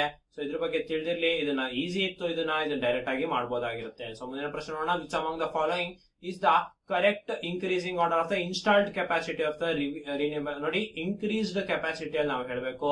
ಸೊ ಸರಿಯಾದ ಉತ್ತರ ಬಂದ್ಬಿಟ್ಟು ನಮಗೆ ಸೋಲಾರ್ ಹೈಡ್ರೋ ಮತ್ತೆ ವಿಂಡ್ ಅಂತೆ. ಸೊ ಹಾಗಾಗಿ ಸೊ ಸೋಲಾರ್ ಹೈಡ್ರೋ ವಿಂಡ್ ಸರಿಯಾದ ಉತ್ತರ ಆಗಿರುತ್ತೆ. ಮುಂದಿನ ಪ್ರಶ್ನೆ ನೋಡ್ತಾ ಹೋಗೋಣ. ನೋಡಿ, ಆ ಕಾರ್ ಸ್ಟಾರ್ಟ್ಸ್ ಒಂದು ಸ್ಪೀಡ್ ಅರವತ್ತು ಕಿಲೋಮೀಟರ್ ಪರ್ ಅವರ್ ಅಲ್ಲಿ ಒಂದು ಕಾರ್ ಹೋಗ್ತಾ ಇದೆಯಂತೆ. ಅದು ಪ್ರತಿ ಎರಡು ಗಂಟೆಗೆ ಒಮ್ಮೆ ಇಪ್ಪತ್ತು ಕಿಲೋಮೀಟರ್ ಪರ್ ಅವರು ಇನ್ಕ್ರೀಸ್ ಮಾಡ್ಕೊಳ್ಳುತ್ತಂತೆ. ಹಾಗಾದ್ರೆ ಮುನ್ನೂರ ಐದು ಕಿಲೋಮೀಟರ್ ಟ್ರಾವೆಲ್ ಮಾಡ್ಲಿಕ್ಕೆ ಆ ಕಾರು ಎಷ್ಟು ಗಂಟೆ ಟ್ರಾವೆಲ್ ಮಾಡ್ಬೇಕು ಅಂತ. ನೋಡಿ ಫಸ್ಟ್ ಎರಡು ಗಂಟೆ ಅದೇನ್ ಟೈಮ್ ಇನ್ಕ್ರೀಸ್ ಮಾಡ್ಕೊಂಡಿರಲ್ಲ ಸೊ ಫಸ್ಟ್ ನೂರ ಇಪ್ಪತ್ತು ಕಿಲೋಮೀಟರ್ ಕೇವಲ ಒಂದು ಗಂಟೆಯಲ್ಲಿ ಹೋಗಿರುತ್ತೆ. ಅಲ್ವಾ? ಸೊ ಫಸ್ಟ್ ಟೂ ಅವರ್ಸ್ ಅಲ್ಲಿ ನಮಗೆ ಬರೀ ನೂರ ಇಪ್ಪತ್ತು ಕಿಲೋಮೀಟರ್ ಹೋಗಿರುತ್ತೆ. ಯಾಕಂದ್ರೆ ಸಿಕ್ಸ್ಟಿ ಕಿಲೋಮೀಟರ್ ಪರ್ ಅವರ್ ಹೋಗ್ತಾ ಇದೆ. ಎರಡು ಗಂಟೆಯ ನಂತರ ಅದು ಇಪ್ಪತ್ತು ಕಿಲೋಮೀಟರ್ನ ಹೆಚ್ಚು ಮಾಡ್ಕೊಳುತ್ತೆ ಸೊ ಹಂಗಂದ್ರೆ ಸೊ ನಮಗೆ ನೂರ ನಲವತ್ತು ಕಿಲೋಮೀಟರ್ ಆಗತ್ತೆ. ಸೊ ನಮಗೆ ನಾಲ್ಕು ಒನ್ ಬೈ ಫೋರ್ ಸರಿಯಾದ ಉತ್ತರ ಆಗಿರುತ್ತೆ. ಅಂದ್ರೆ ಒನ್ ಸಿಕ್ಸ್ಟಿ ಏನಿದೆ. ಸೊ ಒನ್ ಸಿಕ್ಸ್ಟಿನ ನಾಲ್ಕು ಭಾಗ ಮಾಡಿದ್ರೆ ನಮಗೆ ಸಿಕ್ಕತ್ತೆ ಸೊ ಸರಿಯಾದ ಉತ್ತರ ಬಂದ್ಬಿಟ್ಟು, ನಮಗೆ ಆನ್ಸರ್ ಬಂದ್ಬಿಟ್ಟು ಸೊ ಇದಕ್ಕೆ ಫೋರ್ ಒನ್ ಬೈ ಫೋರ್ ಸರಿಯಾದ ಉತ್ತರ ಆಗಿರುತ್ತೆ. ಮುಂದಿನ ಪ್ರಶ್ನೆ ನೋಡ್ತಾ ಹೋಗೋಣ. A constitution assembly was set up in according to the proposals of cabinet mission ಆಗಿರುತ್ತೆ. ಸೊ ಕಾನ್ಸ್ಟಿಟ್ಯೂಷನ್ ಕಾನ್ಸ್ಟಿಟ್ಯೂಂಟ್ ಅಸೆಂಬ್ಲಿ ಏನಿದೆ, ಅದನ್ನ ಯಾರ ಪ್ರಪೋಸಲ್ನಲ್ಲಿ ಮಾಡಲಾಗಿತ್ತು ಅಂದ್ರೆ ಕ್ಯಾಬಿನೆಟ್ ಮಿಷನ್ನ ಪ್ರಪೋಸಲ್ ಮೇಲೆ. ಮುಂದಿನ ಪ್ರಶ್ನೆ ನೋಡೋಣ. Election commission in India is a state body centralised body constitutional body none of this constitutional body ಆಗಿರುತ್ತೆ. ಸೊ ಮುಂದಿನ ಪ್ರಶ್ನೆ ನೋಡ್ತಾ ಹೋಗೋಣ. ಮುಂದಿನ ಪ್ರಶ್ನೆ which in which in India second largest milk cooperative society KMF KMF ನಮ್ಮ ಭಾರತದಲ್ಲಿ ಅತ್ಯಂತ ಎರಡನೇ ಅತಿ ದೊಡ್ಡ ಕೋಆಪರೇಟಿವ್ ಒಕ್ಕೂಟ ಆಗಿದೆ. ಸೊ ನಿಮಗೆ ತಿಳಿದಿರಲಿ. What was the aim of Beej Bachao Andolan? Beej Bachao Andolan ಮುಖ್ಯ ಉದ್ದೇಶ ಏನು ಅಂದ್ರೆ crop protection without chemical use ಅಂತ ಹೇಳ್ಬಿಟ್ಟು. ಸೊ ಇದ್ರ ಬಗ್ಗೆ ನಿಮಗೆ ತಿಳಿದಿರಲಿ. ಮುಂದಿನ ಪ್ರಶ್ನೆ ನೋಡೋಣ. ಮುಂದಿನ ಪ್ರಶ್ನೆ who was the chairman of first finance commission constituted in Karnataka ನೋಡಿ ನೀವು ಎಕನಾಮಿ ಏನ್ ಓದ್ತೀರಾ? ಕರ್ನಾಟಕದ ಆರ್ಥಿಕತೆ ಅನ್ನೋ ಒಂದು ಟಾಪಿಕ್ ಅನ್ನ ಕೂಡ ನೀವು ಓದ್ಬೇಕಾಗತ್ತೆ. ಯಾಕಂದ್ರೆ ನೀವು ಕರ್ನಾಟಕ ಎಕ್ಸಾಮ್ಸ್ ಬರೆಯೋದ್ರಿಂದ ಅದನ್ನ ಓದ್ಬೇಕಾಗತ್ತೆ. ಆನ್ಸರ್ ಬಂದು ಡಾಕ್ಟರ್ ಜಿ ತಿಮ್ಮಯ್ಯ ಆಗಿರುತ್ತೆ. ಮುಂದಿನ ಪ್ರಶ್ನೆ ನೋಡ್ತಾ ಹೋಗೋಣ. ಮುಂದಿನ ಪ್ರಶ್ನೆ. ನೋಡಿ ಇದೊಂದು ಕ್ವಶನ್ ಅಲ್ಲಿ ಗೊಂದಲ ಇತ್ತು. ಸೊ ಹಾಗಾಗಿ ಈ ರೀತಿ ಕೊಟ್ಟಿದ್ದಾರೆ. Which trees do not belong to tropical deciduous forest ಅಂತ ಕೊಟ್ಟಿದ್ದಾರೆ. ಸೊ ಪೈನ್ ಅಕೇಶಿಯಾ ಟೆಂಡು ಪಸೂರ್ ಕೊಟ್ಟಿದ್ದಾರೆ. ಬಟ್ ಇಲ್ಲಿ ಕೊಟ್ಟಿದ್ದಾರೆ ನೋಡಿ ಪೈನ್ ಅಕೇಶಿಯಾ ಪಸೂರ್ ಯಾವುದೇ ಆಪ್ಷನ್ ಅನ್ನ ಸೆಲೆಕ್ಟ್ ಮಾಡಿದ್ರು ಫುಲ್ ಮಾರ್ಕ್ಸ್ ಅನ್ನ ಕೊಟ್ಟಿದ್ದಾರೆ ಅಂತ ಹೇಳ್ಬಿಟ್ಟು ಇದ್ರ ಬಗ್ಗೆ ನಿಮ್ಗೆ ತಿಳಿದಿರ್ಲಿ, ಇದೊಂದು ರಾಂಗ್ ಕ್ವಶನ್ ಆಗಿತ್ತು. ಮುಂದಿನ ಪ್ರಶ್ನೆ ನೋಡೋಣ. Dash is the ruler of Yelahanka Nadaprabhu is popularly known as Bengaluru Kempegowda ನೋಡಿ, ನಿಮ್ಗೆ ಗೊತ್ತು, ನೀವು ಯಲಹಂಕದ ನಾಡಪ್ರಭುಗಳು ಅಂತ ಒಂದು ಕರ್ನಾಟಕ ಇತಿಹಾಸದಲ್ಲಿ ಒಂದು ಅಮರ ನಾಯಕರ ಚಾಪ್ಟರ್ಸ್ನಲ್ಲಿ ಓದಿರ್ತೀರಾ. ಸೊ ಯಲಹಂಕದ ನಾಡಪ್ರಭುಗಳು ಏನು, ರಣಭೈರೇಗೌಡ ಇದರ ಮೂಲ ಪುರುಷ ಇರ್ತಾರೆ. ಸೊ ಅದಾದ್ಮೇಲೆ ಕೆಂಪ್ ನಂಜೇಗೌಡ ಬರ್ತಾರೆ. ಇವರು ದೇವರ ಅನುಗ್ರಹದಿಂದ ಕೆಂಪ್ ನಂಜೇಗೌಡ ಅವರು ಹುಡ್ತಾರೆ. ಸೊ ಕೆಂಪ್ ನಂಜೇಗೌಡ ಅವರ ಮೊದಲನೇ ಮಗನೇ ಒಂದನೇ ಕೆಂಪೇಗೌಡ ಅಥವಾ ನಮ್ಮ ಬೆಂಗಳೂರಿನ ಸಂಸ್ಥಾಪಕ, ಅವರನ್ನ ಹಿರಿಯ ಕೆಂಪೇಗೌಡ ಅಂತ ಕೂಡ ಕರೀತಾರೆ. ಸೊ ಕೆಂಪೇಗೌಡರ ಬಗ್ಗೆ ಹೇಳೋದಾದ್ರೆ ಸೊ ಇವ್ರು ನೋಡಿ ಬೆಂಗಳೂರನ್ನ ಒಂದು ಅತಿ ದೊಡ್ಡ ಕೇಂದ್ರವನ್ನಾಗಿ ಮಾಡ್ಬೇಕು ಅಂತ ಕನ್ಸನ್ನ ಕಂಡಿರ್ತಾರೆ. ಸಾವಿರದ ಐನೂರ ಮೂವತ್ತೇಳರಲ್ಲಿ ಬೆಂಗಳೂರನ್ನ ಸ್ಥಾಪನೆಯನ್ನ ಮಾಡ್ತಾರೆ. ಸೊ ಅದನ್ನ ಉದ್ಧಾರ ಮಾಡ್ತಾರೆ. ಸೊ ಅದಕ್ಕೆ ಹೆಬ್ಬಾಗಿಲನ್ನ ಹಾಕ್ಸ್ತಾರೆ, ಕೋಟೆಯನ್ನ ಹಾಕಿಸ್ತಾರೆ. ಸೊ ಈ ರೀತಿ ಮಾಡಿ ಕೆಂಪೇಗೌಡ ಬೆಂಗಳೂರನ್ನ ಮಾಡ್ತಾರೆ. ಈಗ ಇತ್ತೀಚೆಗಷ್ಟೇ ಅವರ ಕಂಚಿನ ಪ್ರತಿಮೆ ಸ್ಟ್ಯಾಚ್ಯೂ ಆಫ್ ಪ್ರಾಸ್ಪೆರಿಟಿ ಅನ್ನ ಇತ್ತೀಚೆಗೆ ಉದ್ಘಾಟನೆ ದೇವನಹಳ್ಳಿಯಲ್ಲಿ ಮಾಡಲಾಗಿತ್ತು. ಸೊ ನಮ್ ಅವ್ರು ಯಾಕೆ ಅಂತ ಹೇಳಿದ್ರೆ, ಆವತಿ ಪ್ರಭುಗಳು ಅಂತಾನೆ ಕರೀತಾರೆ. ಯಲಹಂಕಾದ ಪ್ರಭುಗಳು ಅಂತ ಕರೀತಾರೆ. ಇದ್ರ ಬಗ್ಗೆ ತಿಳಿದಿರ್ಲಿ. ಹಿರಿಯ ಕಂಪೇಗೌಡ ಸರಿಯಾದ ಉತ್ತರ ಆಗಿರುತ್ತೆ. ಮುಂದಿನ ಪ್ರಶ್ನೆ ನೋಡೋಣ. ಮುಂದಿನ ಪ್ರಶ್ನೆ ನೋಡಿ ಹೈಯೆಸ್ಟ್ ಪೀಕ್ ಇನ್ ಕರ್ನಾಟಕ ಯಾವ್ದು ಅಂತ ಕೇಳ್ತಾ ಇದ್ದಾರೆ. Highest peak in Karnataka Mullayanagiri ನಿಮಗೆ ಆಲ್ರೆಡಿ ಗೊತ್ತು. ಸೊ ನೇರವಾಗಿ ಹೇಳ್ಬೋದು. ಸೊ ಮುಂದಿನ ಪ್ರಶ್ನೆ ನೋಡ್ತಾ ಹೋಗೋಣ. ಮುಂದಿನ according to the union budget twenty one twenty two ನೋಡಿ, ಈಗ ಆಲ್ರೆಡಿ ಇದು ಔಟ್ಡೇಟೆಡ್ ಆಗಿದೆ. ಸೊ ಫೆಬ್ರವರಿಗೆ ಹೊಸ ಬಜೆಟ್ ಆಗಿದೆ. ಸೊ ಹಾಗಾಗಿ ಈ ಮೇಲೆ ಬಜೆಟ್ ಮೇಲೆ ಪ್ರಶ್ನೆಗಳು ಬರುವಂತ ಸಹಜ ಆಗಿರುತ್ತೆ. ಇದು ಹಳೆ ಕೆಪಿಎಸ್ಸಿ ಜನವರಿ ಏಳಕ್ಕೆ ಎಕ್ಸಾಮ್ ಆಗಿರೋದ್ರಿಂದ ನಮಗೆ ಹಳೆಯ ಬಜೆಟ್ ಮೇಲೆ ಪ್ರಶ್ನೆಯನ್ನ ಕೇಳಲಾಗ್ತಿದೆ. ಸೊ ಸರಿಯಾದ ಉತ್ತರ ಸ್ನೇಹಿತರೆ, ಇದಕ್ಕೆ ಎಪ್ಪತ್ನಾಲ್ಕು ಪರ್ಸೆಂಟ್ ಆಗಿರುತ್ತೆ. ಆಪ್ಷನ್ ಎ, ಸರಿಯಾದ ಉತ್ತರ. ಮುಂದಿನ ಪ್ರಶ್ನೆಗೆ ಹೋಗ್ತಾ ಹೋಗೋಣ. ಮುಂದಿನ ಪ್ರಶ್ನೆ who was appointed as eco ambassador of Karnataka government by twenty twenty two for her achievement Saalu Marada Thimmakka, ತುಳಸಿ ಗೌಡ, ವಂದನಾ ಶಿವ, ಅಲ್ಮಿತ್ರಿ ಪಟೇಲ್. ಸರಿಯಾದ ಉತ್ತರ ಬಂದು ಸಾಲು ಮರದ ತಿಪ್ಪಕ್ಕ ಆಗಿರುತ್ತೆ. ಸೊ ನಾವು ಇದನ್ನ ಕರೆಂಟ್ ಅಫೇರ್ಸ್ ಸ್ಪರ್ಧಾ ಅಶ್ವಮೇಧದಲ್ಲಿ ನೀಡಿದ್ವಿ. ಇದನ್ನ ನೀವು ನೋಡಿರ್ತೀರಾ? ಮುಂದಿನ ಪ್ರಶ್ನೆ ನೋಡೋಣ. ಇಲ್ಲಿ ನೋಡಿ, ಒಂದು ಮತ್ತೆ ಟೈಮ್ ವರ್ಕ್ ಮೇಲೆ ಇರುವಂತಹ ಪ್ರಶ್ನೆ. ನೂರ ಇಪ್ಪತ್ತು ದಿನದಲ್ಲಿ ಒಬ್ಬ ಕಾಂಟ್ರಾಕ್ಟರ್ ವರ್ಕ್ ಅನ್ನ ಕಂಪ್ಲೀಟ್ ಮಾಡ್ಬೇಕಿರುತ್ತಂತೆ. ಇನ್ನೂರು ಜನನನ್ನ ಹೈರ್ ಮಾಡ್ಕೊಂಡಿರ್ತಾನಂತೆ. ಎಪ್ಪತ್ತೆರಡು ದಿನಕ್ಕೆ ಅರ್ಧ ಕೆಲಸ ಆಗೋ, ಆಗಿರತ್ತಂತೆ. ಹಾಗಾದ್ರೆ ಇನ್ನು ಉಳಿದಿರುವಂತಹ ದಿನಗಳಲ್ಲಿ ಉಳಿದಿರುವಂತಹ ದಿನಗಳಲ್ಲಿ ಕಂಪ್ಲೀಟ್ ವರ್ಕ್ ಅನ್ನ ಮಾಡ್ಬೇಕು ಅಂದ್ರೆ ಇನ್ನು ಎಷ್ಟು ಜನ ತಗೋಬೇಕು ಅಂದ್ರೆ ಸರಿಯಾದ ಉತ್ತರ ಬಂದ್ಬಿಟ್ಟು ಸ್ನೇಹಿತರೆ, ಇದಕ್ಕೆ ಹಂಡ್ರೆಡ್ ಆಗಿರುತ್ತೆ. ಸೊ ಹಂಡ್ರೆಡ್ ಅನ್ನೋದು ತಿಳಿದಿರ್ಲಿ. ಸೊ ಇದು ಯಾವ ರೀತಿ ಬಂತು ಅಂತ ಹೇಳ್ಬಿಟ್ಟು ನೀವು ನೋಡ್ಕೋಬೇಕಾದ್ರೆ ಸೊ ಟೈಮ್ ಅಂಡ್ ವರ್ಕ್ ಒಬ್ಬೊಬ್ರು ಒಂದೊಂದು ರೀತಿ ಹೇಳ್ಕೊಟ್ಟಿರ್ತಾರೆ. ಸೊ ನಿಮ್ಮ ಮೆಥಡ್ ಅನ್ನ ನೀವು ಫಾಲೋ ಮಾಡಿ, ಮುಂದಿನ ಪ್ರಶ್ನೆ ನೋಡೋಣ. The fastest growing plant is bamboo so bamboo fastest grow ಆಗುತ್ತೆ. ಮುಂದಿನ ಪ್ರಶ್ನೆ ನೋಡೋಣ. Salt tolerant trees growing in shallow marine sediment of estuaries are known as mangroves ನಿಮಗೆ ಗೊತ್ತಿರುತ್ತೆ. ನಮ್ಮ ಕರ್ನಾಟಕದಲ್ಲಿ ಕೂಡ ಮ್ಯಾಂಗ್ರೋವ್ ಕಾಡುಗಳಿದೆ. ನಮ್ಮ ಕಾಂಡ್ಲಾ ಏನು? ನೀವು ಹೊನ್ನಾವಾರ ಮುರುಡೇಶ್ವರ ಹತ್ರ ಇದೆ, ಅಲ್ಲಿ ಕೂಡ ನಿಮಗೆ ಮ್ಯಾಂಗ್ರೂವ್ ಫಾರೆಸ್ಟ್ ಕಂಡು ಬರುತ್ತೆ ಸೊ ತಿಳಿದಿರ್ಲಿ, ಮುಂದಿನ ಪ್ರಶ್ನೆ ನೋಡೋಣ. ನೋಡಿ ಕೊಟ್ಟಿರುವಂತಹ ಫಿಗರ್ನಲ್ಲಿ ಎಷ್ಟು ಟ್ರಯಾಂಗಲ್ ಇದೆ ಅಂತ ಹೇಳ್ಬಿಟ್ಟು. ಸೊ ಸರಿಯಾದ ಉತ್ತರ ಹದಿನೇಳು. ನಾನು ಹೇಳಿದೆ ಇದನ್ನ ಎರಡು ಮೆಥಡ್ ಅಲ್ಲಿ ಮಾಡಬಹುದು ಒಂದು ಲೈನ್ಸ್ ಮತ್ತೆ ಡಯಾಗ್ನಲ್ಸ್ ಮೆಥಡ್ ಇನ್ನೊಂದು ನೀವು ವಿಜುವಲೈಸ್ ಆಗಿ ಮಾಡಿ ಮಾಡಬಹುದು ಸೊ ನೀವು ಕರೆಕ್ಟ್ ಆಗಿ ಎಣಿಸಿದ್ರೆ ನಿಮಗೆ ಹದಿನೇಳು ಟ್ರಯಾಂಗಲ್ ಕಂಡು ಬರುತ್ತೆ ಮುಂದಿನ ಪ್ರಶ್ನೆ ನೋಡೋಣ. Shifting cultivation in north eastern part of India is called as jhum cultivation ನೀವು ಕಲ್ಟಿವೇಶನ್ನ ಓದಿರ್ತೀರಾ? ಜೂಮ್ ಕಲ್ಟಿವೇಶನ್ ಅಂದ್ರೆ ಏನಂತ ಓದಿರ್ತೀರಾ? ಸೊ ಇದು ಶಿಫ್ಟಿಂಗ್ ಕಲ್ಟಿವೇಶನ್ ಆಗಿರುತ್ತೆ. ಮುಂದಿನ ಪ್ರಶ್ನೆ ನೋಡೋಣ. If twenty five percent of a number is seventy five ಅಂದ್ರೆ ಒಂದು ನಂಬರ್ನ ಇಪ್ಪತ್ತೈದು ಪರ್ಸೆಂಟ್ ಎಪ್ಪತ್ತೈದು ಆಗಿತ್ತು ಅಂದ್ರೆ ನಲವತ್ತೈದು ಪರ್ಸೆಂಟ್ ಆಫ್ ಅದೇ ನಂಬರ್ ಎಷ್ಟು ಅಂತ ಕೇಳ್ತಾ ಇದ್ದಾರೆ. ನೋಡಿ, ಇದೊಂದು ಪರ್ಸೆಂಟೇಜ್ ಮೇಲೆ ಇರುವಂತ ಲೆಕ್ಕ. ಬಹಳ ಈ ರೀತಿಯಾದಂತಹ ಪ್ರಶ್ನೆಗಳನ್ನ ಕೇಳಿದ್ರೆ ಸ್ವಲ್ಪ ಟ್ರಿಕ್ಕಿ ಅನ್ಸ್ಬೋದು ನಿಮ್ಗೆ. ಸರಿಯಾದ ಉತ್ತರ ಬಂದ್ಬಿಟ್ಟು ನೂರ ಮೂವತ್ತೈದು ಆಗಿರುತ್ತೆ. ಸೊ ಮುಂದಿನ ಪ್ರಶ್ನೆ ನೋಡ್ತಾ ಹೋಗೋಣ. ಒಂದು ಟ್ರೈನ್ಸ್ ಮೇಲೆ ಇರುವಂತಹ ಲೆಕ್ಕ. ಒಂದು ಟ್ರೈನ್ ಅರವತ್ತು ಕಿಲೋಮೀಟರ್ನಲ್ಲಿ ಪಿ ಮತ್ತೆ ಕ್ಯೂ ಅನ್ನೋ ಇರುವ ನಡುವೆ ಕೇವಲ ನಲವತ್ತೈದು ನಿಮಿಷದಲ್ಲಿ ಹೋಗುತ್ತಂತೆ. ಹಾಗಾದ್ರೆ ಅದರ ಸ್ಪೀಡ್ ಐದು ಕಿಲೋಮೀಟರ್ ಪರ್ ಅವರ್ ಕಮ್ಮಿ ಆಯ್ತು ಅಂದ್ರೆ ಅಂದ್ರೆ ಅದರ ಸ್ಪೀಡ್ ಐವತ್ತೈದು ಕಿಲೋಮೀಟರ್ ಪರ್ ಅವರ್ ಆಗಿತ್ತು ಅಂತ ಹೇಳಿದ್ರೆ ಸೊ ಅದು ಎಷ್ಟು ಟೈಮ್ ತಗೊಳುತ್ತೆ ಅಂತ ಹೇಳ್ಬಿಟ್ಟು ನಲವತ್ತ ಎಂಟು ನಿಮಿಷ ತಗೊಳುತ್ತೆ. ಸೊ ಇದ್ರ ಬಗ್ಗೆ ತಿಳಿದಿರ್ಲಿ. ಮುಂದಿನ ಪ್ರಶ್ನೆ ನೋಡೋಣ. Slash and burn agriculture is is intensive agriculture shifting agriculture none of this ನೋಡಿ ನಾವು ಜೂಮ್ ಕಲ್ಟಿವೇಶನ್ ಅಂತ ಓದಿದ್ವಲ್ಲ, ಅದನ್ನೇ ಸ್ಲಾಶ್ ಅಂಡ್ ಬರ್ನ್ ಅಂತಾನು ಕರಿತೀವಿ. ಸೊ ಏನಂದ್ರೆ ಶಿಫ್ಟಿಂಗ್ ಅಗ್ರಿಕಲ್ಚರ್ ಅಂದ್ರೆ ಹೆಂಗಿರುತ್ತಂದ್ರೆ, ಈಗ ಒಂದ್ ಕಡೆ ನಾವು ಕೃಷಿಯನ್ನ ಮಾಡ್ತೀವಿ. ಕೃಷಿಯನ್ನ ಮಾಡಾದ್ಮೇಲೆ ಸೊ ನಾವ್ ಅದೇನ್ ಮಾಡ್ತೀವಿ? ಅದನ್ನ ಬೆಂಕಿ ಮಾಡ್ಬಿಡ್ತೀವಿ. ಅಂದ್ರೆ ಅದರ ಫಸ್ಲ್ ಏನಿರುತ್ತೆ ಅದನ್ನ ಬೆಂಕಿ ಹಚ್ಚಿ ಸೊ ಅದು ಅಂದ್ರೆ ಯಾಕಂದ್ರೆ ಆ ಭೂಮಿ ಫಲವತ್ತತೆ ಕಳ್ಕೊಳ್ಳುತ್ತೆ ಅಂತ ಮಾಡ್ತಾರೆ. ಸೊ ಅದಾದ್ಮೇಲೆ ಬೇರೆ ಕಡೆ ಶಿಫ್ಟ್ ಮಾಡಿ ಅಗ್ರಿಕಲ್ಚರ್ನ ಮಾಡ್ತಾರೆ. ಒಂದಿಷ್ಟು ಋತುಗಳ ನಂತರ ಮತ್ತೆ ಅದೇ ಸ್ಥಳದಲ್ಲಿ ಮಾಡ್ತಾರೆ ಇದನ್ನ ಶಿಫ್ಟಿಂಗ್ ಅಗ್ರಿಕಲ್ಚರ್ ಅಂತ ಹೇಳ್ತಾರೆ. ಸ್ಲಾಶ್ ಅಂಡ್ ಬರ್ನ್ ಅಗ್ರಿಕಲ್ಚರ್ ಅಂತ ಕೂಡ ಹೇಳ್ತಾರೆ. ನೋಡಿ, ಇಲ್ಲಿ ಒಂದು ನಮಗೆ ಸಿಲೋಜಿಸಮ್ ಮೇಲೆ ಲೆಕ್ಕ ಕೇಳಲಾಗ್ತಾ ಇದೆ. ಸೊ ಇದನ್ನ ನೀವು ಗಮನಿಸಬೇಕಾಗತ್ತೆ. ನೋಡಿ ಸಮ್ ಕಾರ್ಸ್ ಆರ್ ಟ್ರೀಸ್ ಕೆಲವು ಕಾರುಗಳು ಟ್ರೀಸ್ ಆಗಿದೆಯಂತೆ. ಸೊ ನಾನು ಇಲ್ಲಿ ವೆನ್ ಡಯಾಗ್ರಾಮ್ ಮುಖಾಂತರ ಮಾಡ್ತೀನಿ. ಇದನ್ನ ಬೇರೆ ಫಾರ್ಮುಲಾ ಮೆಥಡ್ ಕೂಡ ಮಾಡಬಹುದು ಸಮ್ ಕಾರ್ಸ್ ಆರ್ ಟ್ರೀಸ್ ಅಂತೆ. ಕೆಲವು ಕಾರ್ಗಳು ಮಾತ್ರ ಟ್ರೀಗಳಂತೆ none of the none of the trees are dogs ಯಾವ ಟ್ರೀ ಕೂಡ ಡಾಗ್ಸ್ ಆಗಿರೋದಿಲ್ವಂತೆ. ಆಲ್ ಡಾಗ್ಸ್ ಆರ್ ಕಾರ್ಸ್ ಅಂತೆ. ಎಲ್ಲಾ ನಾಯಿಗಳು ಕೂಡ ಕಾರ್ಸ್ ಗಳಾಗಿರುತ್ತಂತೆ. ಸೊ ಈಗ ಇದಿಷ್ಟು ಸ್ಟೇಟ್ಮೆಂಟ್ ಗಳಾಗಿದೆ ಅಂತ ಹೇಳಿದ್ರೆ, ನಮಗೆ ಇಲ್ಲಿ ಕನ್ಕ್ಲೂಷನ್ ಅನ್ನ ನೋಡಿ. ನೋ ಡಾಗ್ಸ್ ಆರ್ ಟ್ರೀಸ್ ಯಾವ ನಾಯಿಗಳು ಟ್ರೀಸ್ ಆಗಿರೋದಿಲ್ಲ ಅಂತ ಹೇಳ್ಬಿಟ್ಟು ಒಂದು conclusion some trees are cars ಅಂತ. ಒಂದಿಷ್ಟು ಟ್ರೀಗಳು ಕಾರ್ಗಳಾಗಿರ್ಬೋದು ಅಂತ. ಆಲ್ ಕಾರ್ಸ್ ಆರ್ ಡಾಗ್ಸ್ ಎಲ್ಲ ಕಾರ್ಗಳು ಎಲ್ಲ ಡಾಗ್ಸ್ ಆಗಿರುತ್ತೆ ಅಂತ. ಇದರಲ್ಲಿ ಯಾವ ಹೇಳಿಕೆಗಳು ಸರಿಯಾಗಿದೆ ಅಂತ ಹೇಳ್ಬಿಟ್ಟು ಇದನ್ನ ವೆನ್ ಡಯಾಗ್ರಾಮ್ ಮುಖಾಂತರ ನಾವು ಮಾಡ್ತೇವೆ. ಸೊ ಸರಿಯಾದ ಉತ್ತರ ಬಂದ್ಬಿಟ್ಟು ಒನ್ ಅಂಡ್ ಟೂ ಫಾಲೋಸ್ ಅಂತ ಹೇಳ್ಬಿಟ್ಟು. ನೋ ಡಾಗ್ಸ್ ಆರ್ ಟ್ರೀಸ್ ಇದು ಹೌದು.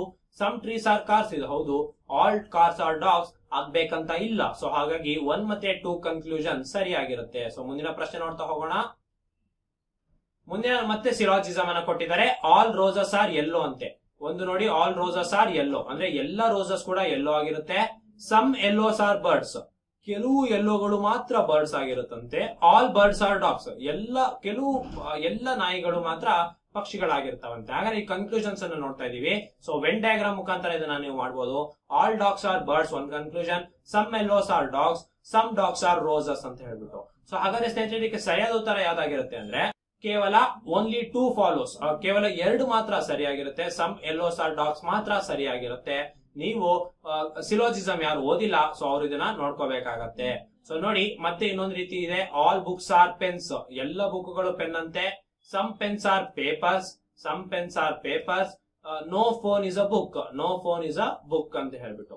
ಸೊ ಹಾಗಾದ್ರೆ no phone is a pen at least some papers are phones no paper no paper is phone some pens being book is a possibility ಅಂತ ಹೇಳ್ಬಿಟ್ಟು ಈ ತರ ಕೊಟ್ಟಿದ್ದಾರೆ. ಸೊ ನೋಡಿ, ಈ ಕ್ವಶನ್ ಇಲ್ಲಿ ಸ್ವಲ್ಪ ತಪ್ಪಿರೋದ್ರಿಂದ ಇದಕ್ಕೆ ಫುಲ್ ಮಾರ್ಕ್ಸ್ ಅನ್ನ ಅವಾರ್ಡ್ ಮಾಡಲಾಗಿದೆ ಅಂತ ಕೊಡಲಾಗಿದೆ.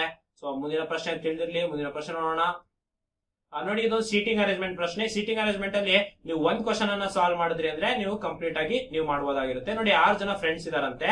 ಸೊ ಅವರು ಎರಡ್ ರೋ ಅಲ್ಲಿ ಕೂತಿದಾರಂತೆ. ನೀವು ಈ ತರ ಬರ್ಕೋಬೇಕಾಗತ್ತೆ. ಎರಡ್ ರೋ ಬರ್ಕೋಬೇಕಾಗತ್ತೆ. ಅವ್ರ ಎದ್ರ ಭದ್ರ ಕೂತ್ಕೊಂಡಿದಾರಂತೆ. P Q R S T U ಅಂತ ಆರ್ ಜನ ಫ್ರೆಂಡ್ಸ್ ಇದಾರಂತೆ. ನೋಡಿ, ಇಲ್ಲಿ Q is not in the opposite row of R and U ನೋಡಿ, ಇಲ್ಲಿ ಒಂದ್ ರೋ ಅಲ್ಲಿ ಕ್ಯೂ ಇದಾನಂದ್ರೆ ಇನ್ನು ಉಳಿದಿರೋ ರೋ ಅಲ್ಲಿ ಆರ್ ಮತ್ತೆ ಯು ಇರ್ತಾನೆ. P sitting opposite to R ನೋಡಿ, ಎಲ್ಲಿ ಆರ್ ಕೂತ್ಯಾನೋ ಅಲ್ಲಿ ಪಿ ಕೂತವನೆ ಆಯ್ತಾ? So P R ಕೂತ್ಯಾನೆ. So next S is sitting to the left of P ನೋಡಿ ಎಸ್ ಇದನಲ್ಲ, ಅವನು ಪಿ ನ ಲೆಫ್ಟ್ ಸೈಡ್ ಕೂತ್ಯಾನಂತೆ. ಹಾಗಾದ್ರೆ ಪಿ ಇಲ್ಲಿರ್ಬೇಕು ತಾನೆ? ಸೊ ಪಿ ಇಲ್ಲಿ ಇರ್ಬೇಕು ಪಿ ಆಪೋಸಿಟ್ ಆರ್ ಇರ್ಬೇಕು ಸೊ ಯು ಕೂಡ ಇರ್ಬೇಕು. ಸೊ ನೋಡಿ T is not facing S T ಅಕಸ್ಮಾತ್ ಎಸ್ ಫೇಸ್ ಮಾಡ್ತಿಲ್ಲ ಅಂದ್ರೆ ಟಿ ಯಾರಿಗೆ ಫೇಸ್ ಮಾಡ್ತಿರ್ಬೇಕು? ಕ್ಯೂಬ್ ಮಾಡ್ತಿರ್ಬೇಕು. ಸೊ ನಾವು ಈ ಸೀಟಿಂಗ್ ಅರೇಂಜ್ಮೆಂಟ್ ಇದನ್ನ ಬರ್ಕೊಂಡಿದೀವಿ. ಸೊ ಇನ್ನೊಂದ್ಸಲಿ ಕ್ಲೀನ್ ಆಗಿ ಬರ್ದ್ಬಿಡ್ತೀನಿ ನೋಡಿ ಇಲ್ಲಿ. U T R S Q P ಈ ತರ ಆಪೋಸಿಟ್ ಅಲ್ಲಿ ಕುತ್ಕೊಂಡಿದ್ದಾರೆ. ಸೊ ಈಗ ನೋಡಿ question who is sitting diagonally opposite R S diagonally opposite ಕೂತಿದಾರ ಹೌದು. ಆರ್ ಪಿ ಅಲ್ಲ. ಡಯಾಗ್ನಲಿ ಕೂತಿಲ್ಲ. ಎಸ್ ಯು ಅಲ್ಲ. ಆರ್ ಟಿ ಅಲ್ಲ. ಸೊ ಸರಿಯಾದ ಉತ್ತರ ಎಸ್ ಆರ್ ಎ ಆಗಿರುತ್ತೆ. ಆರ್ ಎಸ್ ಸರಿಯಾದ ಉತ್ತರ. ಸೊ ಮುಂದಿನ ಪ್ರಶ್ನೆ ನೋಡ್ತಾ ಹೋಗೋಣ. ಮುಂದಿನ ಪ್ರಶ್ನೆ. ನೋಡಿ who is the wise of the following is R not in the one row ಅಂದ್ರೆ ಯಾರು ಒಂದೇ ರೋ ಅಲ್ಲಿ ಇಲ್ಲ ಅಂತ. ಪಿ ಮತ್ತೆ ಎಸ್ ಒಂದೇ ರೋ ಅಲ್ಲಿ ಇದಾರಾ ಇದಾರೆ. ಟಿ ಮತ್ತೆ ಯು ಒಂದೇ ರೋ ಅಲ್ಲಿ ಇದಾರೆ. ಆರ್ ಮತ್ತೆ ಯು ಕೂಡ ಒಂದೇ ರೋ ಅಲ್ಲಿ ಇದಾರೆ. ಯಾರಿಲ್ಲ ಅಂದ್ರೆ ಆರ್ ಮತ್ತೆ ಎಸ್ ಆಪೋಸಿಟ್ ಡಯಾಗ್ನಲಿ ಆಪೋಸಿಟ್ ಇದಾರೆ. ಸೊ ಇದು ತಿಳಿದಿರ್ಲಿ, ಮುಂದಿನ ಪ್ರಶ್ನೆ ನೋಡೋಣ. Which of the following are facing each other ಯಾರು ಇಬ್ರು ಫೇಸಿಂಗ್ ಈಚ್ ಮಾಡಿದ್ದಾರೆ ಅಂತ. ಕ್ಯೂ ಮತ್ತೆ ಎಸ್ ಅಲ್ಲ. ಎಸ್ ಮತ್ತೆ ಯು ಹೌದು. ಎಸ್ ಮತ್ತೆ ಯು ಸರಿಯಾದ ಉತ್ತರ ಆಗಿರುತ್ತೆ. ಮುಂದಿನ ಪ್ರಶ್ನೆ ನೋಡೋಣ. Who is sitting immediately left of P P ನ ಇಮಿಡಿಯೇಟ್ ಲೆಫ್ಟ್ ಯಾರು ಕೂತಿದ್ದಾರೆ? ಕ್ಯೂ ಮುಂದಿನ ಪ್ರಶ್ನೆ ನೋಡೋಣ. Which of the following are sitting in the middle of the two rows ಯಾರು middle of the two rows ಅಲ್ಲಿ ಕೂತಿದ್ದಾರೆ? ಕ್ಯೂ ಯಾರು ರೋನ ಮಧ್ಯದಲ್ಲಿ ಕೂತಿದ್ದಾರೆ ಅಂದ್ರೆ ಕ್ಯೂ ಮಧ್ಯೆ ಟಿ ಸ್ನೇಹಿತರೆ, ನಾವು ಇವಾಗ ಕೆಪಿಎಸ್ಸಿ ಮಾಕ್ ಎಕ್ಸಾಮ್ ಏನಾಗಿತ್ತು? ಕೆಪಿಎಸ್ಸಿ ಅಣುಕು ಪರೀಕ್ಷೆ, ಇನ್ನೇನು ಮುಂಬರುವಂತ ಪರೀಕ್ಷೆಗಳೆಲ್ಲ ಆನ್ಲೈನ್ ಮಾಡಲಿದ್ದಾರೆ. ಸೊ ಅದರಲ್ಲಿ ಏನೋ ಯಾವ ರೀತಿ ಪ್ರಶ್ನೆ ಪತ್ರಿಕೆ ಬಂದಿತ್ತು ಅಂತ ನಾವು ನಿಮಗೆ ಸಾಲ್ವ್ ಮಾಡಿ ಕೊಟ್ಟಿದ್ದೀವಿ ಕೇವಲ ಕರ್ನಾಟಕದಲ್ಲಿ ಎರಡು ಸಾವಿರ ಜನಕ್ಕೆ ಮಾತ್ರ ಅವಕಾಶವನ್ನ ನೀಡಲಾಗಿತ್ತು ಮಾಕ್ ಎಕ್ಸಾಮ್ ಬರೀಲಿಕ್ಕೆ. ಸೊ ಅಂತ ಕ್ವಶನ್ ಪೇಪರ್ ಅನ್ನು ನಾನು ನಿಮಗೆ ತೆಗೆದುಕೊಂಡ್ಬಂದು ಮಾಡಿದ್ದೇನೆ. ಸೊ ನಾವು ಕ್ವಶನ್ಸ್ ನೀವು ನೋಡಿರ್ಬೋದು ಪಾಲಿಟಿಯಲ್ಲಿ ಹೆಚ್ಚು ನಿಮಗೆ ಕಮಿಟಿ ಬೇಸ್ಡ್ ಕ್ವಶನ್ಸ್ ಅನ್ನ ಕೇಳಲಾಗಿತ್ತು, ಕರ್ನಾಟಕ ಇತಿಹಾಸದ ಕ್ವಶನ್ ಅನ್ನ ಜಾಸ್ತಿ ಕೇಳಲಾಗಿತ್ತು, ಮತ್ತೆ ಮೆಂಟಲ್ ಅಬಿಲಿಟಿ ಸ್ವಲ್ಪ ಚಾಲೆಂಜಿಂಗ್ ಇತ್ತು. ಕರೆಂಟ್ ಅಫೇರ್ಸ್ ಅನ್ನು ಕೂಡ ಕವರ್ ಮಾಡಿದ್ರು ಸ್ಟ್ಯಾಟಿಕ್ ಜಿಕೆ ಕೂಡ ಇತ್ತು. ಸ್ಟ್ಯಾಟಿಕ್ ಜಿಕೆನ ಸ್ವಲ್ಪ ಟಿಕ್ಕಿ ಕೂಡ ಕೇಳಿದ್ರು. ಸೊ ಇದನ್ನೆಲ್ಲ ಈ ರೀತಿ ಪ್ರಶ್ನೆ ಪತ್ರಿಕೆಯನ್ನ ಮಾಡಿದರೆ, ನಾನು ನಿಮಗೆ ವಿಡಿಯೋ ಬಿಗಿನಿಂಗ್ ಅಲ್ಲಿ ಎಷ್ಟು ಕ್ವಶನ್ ಪೇಪರ್ ಗಳನ್ನ ಹೇಳಿದ್ದೀನಿ ಅದನ್ನೆಲ್ಲ ಸಾಲ್ವ್ ಮಾಡಿ, ನಿಮ್ಮ ಸ್ಟ್ರೆಂತ್ ಮತ್ತೆ ವೀಕ್ನೆಸ್ ಅನ್ನ ಪತ್ತೆ ಹಚ್ಕೊಳ್ಳಿ ನೋಡಿ ಸ್ನೇಹಿತರೆ ಕರೆಂಟ್ ಅಫೇರ್ಸ್ ಬಹಳ ಪ್ರಮುಖವಾಗಿರುತ್ತೆ. ನಮ್ಮ ಅಚೀವರ್ಸ್ ಅಕಾಡೆಮಿಯ ವೆಬ್ಸೈಟ್ನಲ್ಲಿ ನೀವು ದೈನಂದಿನ ಕರೆಂಟ್ ಅಫೇರ್ಸ್ನ ನೀವು ನೋಡಬಹುದು ಇಲ್ಲಿ ನೀವು ನೋಡ್ತಿರ್ಬೋದು. ಹಂಗೆ ನಿಮ್ಗೆ ಮಾಸಿಕವಾಗಿ ಬೇಕಿದ್ದಲ್ಲಿ ನಮ್ಮ ಸ್ಪರ್ಧಾ ಅಶ್ವಮೇಧ ಮ್ಯಾಗಝಿನ್ ಅನ್ನು ನೀವು ನೋಡಬಹುದು ಕಳೆದ ಆಗಿರುವಂತಹ ಎಲ್ಲ ಪೇಪರ್ ಅಲ್ಲಿ ಕೂಡ ನಮ್ಮಲ್ಲಿ ಬಂದಂತ ಕರೆಂಟ್ ಅಫೇರ್ಸ್ನ ಕೊಡಲಾಗಿತ್ತು. ಇನ್ನು ನಿಮಗೆ ಮಾಕ್ ಟೆಸ್ಟ್ ಅಥವಾ ಕಾನ್ಸೆಪ್ಟ್ ಟೆಸ್ಟ್ ಬೇಕಿದ್ದಲ್ಲಿ ನಮ್ಮ ವೆಬ್ಸೈಟ್ಗೆ ಭೇಟಿ ನೀಡಿದ್ರೆ, ಪರೀಕ್ಷಾ ಮಂದಿರಕ್ಕೆ ಭೇಟಿ ನೀಡಿದ್ರೆ ಎಲ್ಲದಕ್ಕೂ ಕಾನ್ಸೆಪ್ಟ್ ಟೆಸ್ಟ್ಗಳು ಸಿಗ್ತಾ ಹೋಗುತ್ತೆ. ಇನ್ನು ಹೊಸ ಬ್ಯಾಚ್ಗಳು ಪ್ರಾರಂಭ ಆಗ್ತಿದೆ ಸ್ನೇಹಿತರೆ. ಎಸ್ ಎಸ್ಗೆ ಒಂದು ಪ್ರತ್ಯೇಕ ಬ್ಯಾಚ್ ಬ್ಯಾಂಕಿಂಗ್ಗೆ ಒಂದು ಪ್ರತ್ಯೇಕ ಬ್ಯಾಚ್, ಹಾಗೆ ಸ್ಟೇಟ್ ಗೌರ್ಮೆಂಟ್ ಸ್ಟೇಟ್ ಗೌರ್ಮೆಂಟ್ ಅಲ್ಲಿ ಕೂಡ P C P I K ಈ ರೀತಿ ಪ್ರತ್ಯೇಕ ಬ್ಯಾಚ್ಗಳು ನಿಮಗೆ ಪ್ರಾರಂಭವಾಗ್ತಾ ಅದರ ಮಾಹಿತಿಗೆ ನೀವು ಸ್ಕ್ರೀನ್ ಮೇಲೆ ಕಾಣ್ತಿರುವಂತಹ ನಂಬರ್ಸ್ ಗಳಿಗೆ ಕರೆ ಮಾಡಬಹುದು ಅಥವಾ ರಾಘವೇಂದ್ರ ಸ್ವಾಮಿ ಮಠದ ರಸ್ತೆ ತಿಲಕ್ ನಗರ ಮೊದಲನೇ ಕ್ರಾಸ್ನಲ್ಲಿ ಇರುವಂತಹ ನಮ್ಮ ಸಂಸ್ಥೆಗೆ ನೀವು ಭೇಟಿ ನೀಡಬಹುದು ಸೊ ಇದೇ ರೀತಿ, ಸ್ನೇಹಿತರೆ ನಿಮ್ಗೆ ಆಲ್ರೆಡಿ ನಾನು ಮೂರ್ ಕ್ವಶನ್ ಮೂರ್ನಾಲ್ಕು ಕ್ವಶನ್ ಪೇಪರ್ ಗಳನ್ನ ಸಾಲ್ಯೂಷನ್ ವಿಡಿಯೋಗಳನ್ನ ಮಾಡಿದ್ದೀನಿ, ವಿಶ್ಲೇಷಣೆ ವಿಡಿಯೋಗಳನ್ನ ಮಾಡಿದ್ದೇನೆ. ಸೊ ಸ್ನೇಹಿತರೆ, ಅದನ್ನೆಲ್ಲ ಒಮ್ಮೆ ನೋಡ್ಕೊಳ್ಳಿ. ಸೊ ಸಾಧ್ಯವಾದ್ರೆ ನಿಮಗೆ ಪ್ಲೇ ಲಿಸ್ಟ್ ಅನ್ನ ಮಾಡಿಕೊಡಲಾಗುತ್ತೆ. ಇದನ್ನೆಲ್ಲ ನೀವು ಮಾಡೋದ್ರಿಂದ ಏನು ಉಪಯುಕ್ತ ಅಂದ್ರೆ ಯಾವ ರೀತಿ ಟ್ರೆಂಡ್ ಇದೆ ಕ್ವಶನ್ ಪೇಪರ್ ಅಲ್ಲಿ ಅನ್ನೋದು ನಿಮ್ಗೆ ಬಹಳ ಮುಖ್ಯವಾಗಿ ಗೊತ್ತಾಗುತ್ತೆ. ಕೆಲವೊಮ್ಮೆ ನೀವು ನೀವು ಜಿ ಎ ಅಥವಾ ಎಫ್ ಡಿ ಎ ಪೇಪರ್ ಬರ್ದಾಗ ಗೊತ್ತಾಗುತ್ತೆ. ಕೆಲವೊಂದು ಸುಮಾರು ರಿಪೀಟೆಡ್ ಆಗಿದ್ವು ಅಂತ. Even K S S F ಅಲ್ಲಿ ಸುಮಾರು ಅಥವಾ ಯಾವುದೋ ಒಂದು ಮೆಂಟಲ್ ಅಬಿಲಿಟಿ ನೇರವಾಗಿ ರಿಪೀಟೆಡ್ ಕ್ವಶನ್ ಅನ್ನ ಕೇಳ್ಬಿಟ್ಟಿದ್ದ. ಸೊ ಈ ರೀತಿ ಆಗೋ ಚಾನ್ಸಸ್ ಇರೋದ್ರಿಂದ, ಮತ್ತೆ ಯಾವ ರೀತಿ ಕರೆಂಟ್ ಅಫೇರ್ಸ್ನ ಓದ್ತಾ ಇದ್ದೀರಾ, ನೀವು ಓದಿರೋದಕ್ಕೂ ಅದಕ್ಕೂ ಹಂತ ಸರಿ ಇದೆಯಾ, ಇದನ್ನೆಲ್ಲ ತಿಳ್ಕೊಳ್ಳಿಕ್ಕೆ ಪ್ರೀವಿಯಸ್ ಇಯರ್ ಕ್ವಶನ್ ಪೇಪರ್ ಬೇಕಾಗತ್ತೆ. ಸೊ ಹಾಗಾಗಿ ನಾವು ಮಾಡಿರುವಂತ ಎಲ್ಲ ವಿಶ್ಲೇಷಣೆಗಳನ್ನ ನೀವು ನೋಡ್ತಾ ಹೋಗ್ಬೇಕಾಗತ್ತೆ. ಇನ್ನೂ ಎರಡು ಮೂರು ಪರೀಕ್ಷೆಗಳ ವಿಶ್ಲೇಷಣೆಯನ್ನ ಕೂಡ ನಾವು ಮಾಡ್ತೇವೆ. ಸೊ ಇದೇ ರೀತಿ ನಮ್ಮನ್ನ ಬೆಂಬಲಿಸ್ತಾ ಇರಿ. ಹೆಚ್ಚಿನ ಮಾಹಿತಿಯಾಗಿ ನಮ್ಮ ಟೆಲಿಗ್ರಾಮ್ ಗುಂಪು ವಾಟ್ಸ್ಆಪ್ ಗುಂಪಿಗೆ ಜಾಯ್ನ್ ಆಗಿ ಇದೇ ರೀತಿ ನಮ್ಮನ್ನ ಫಾಲೋ ಮಾಡ್ತೀರಿ. ಮುಂದಿನ ಪ್ರಶ್ನೆ ಪತ್ರಿಕೆ ಜೊತೆಗೆ ನಾನು ಬರ್ತೇನೆ.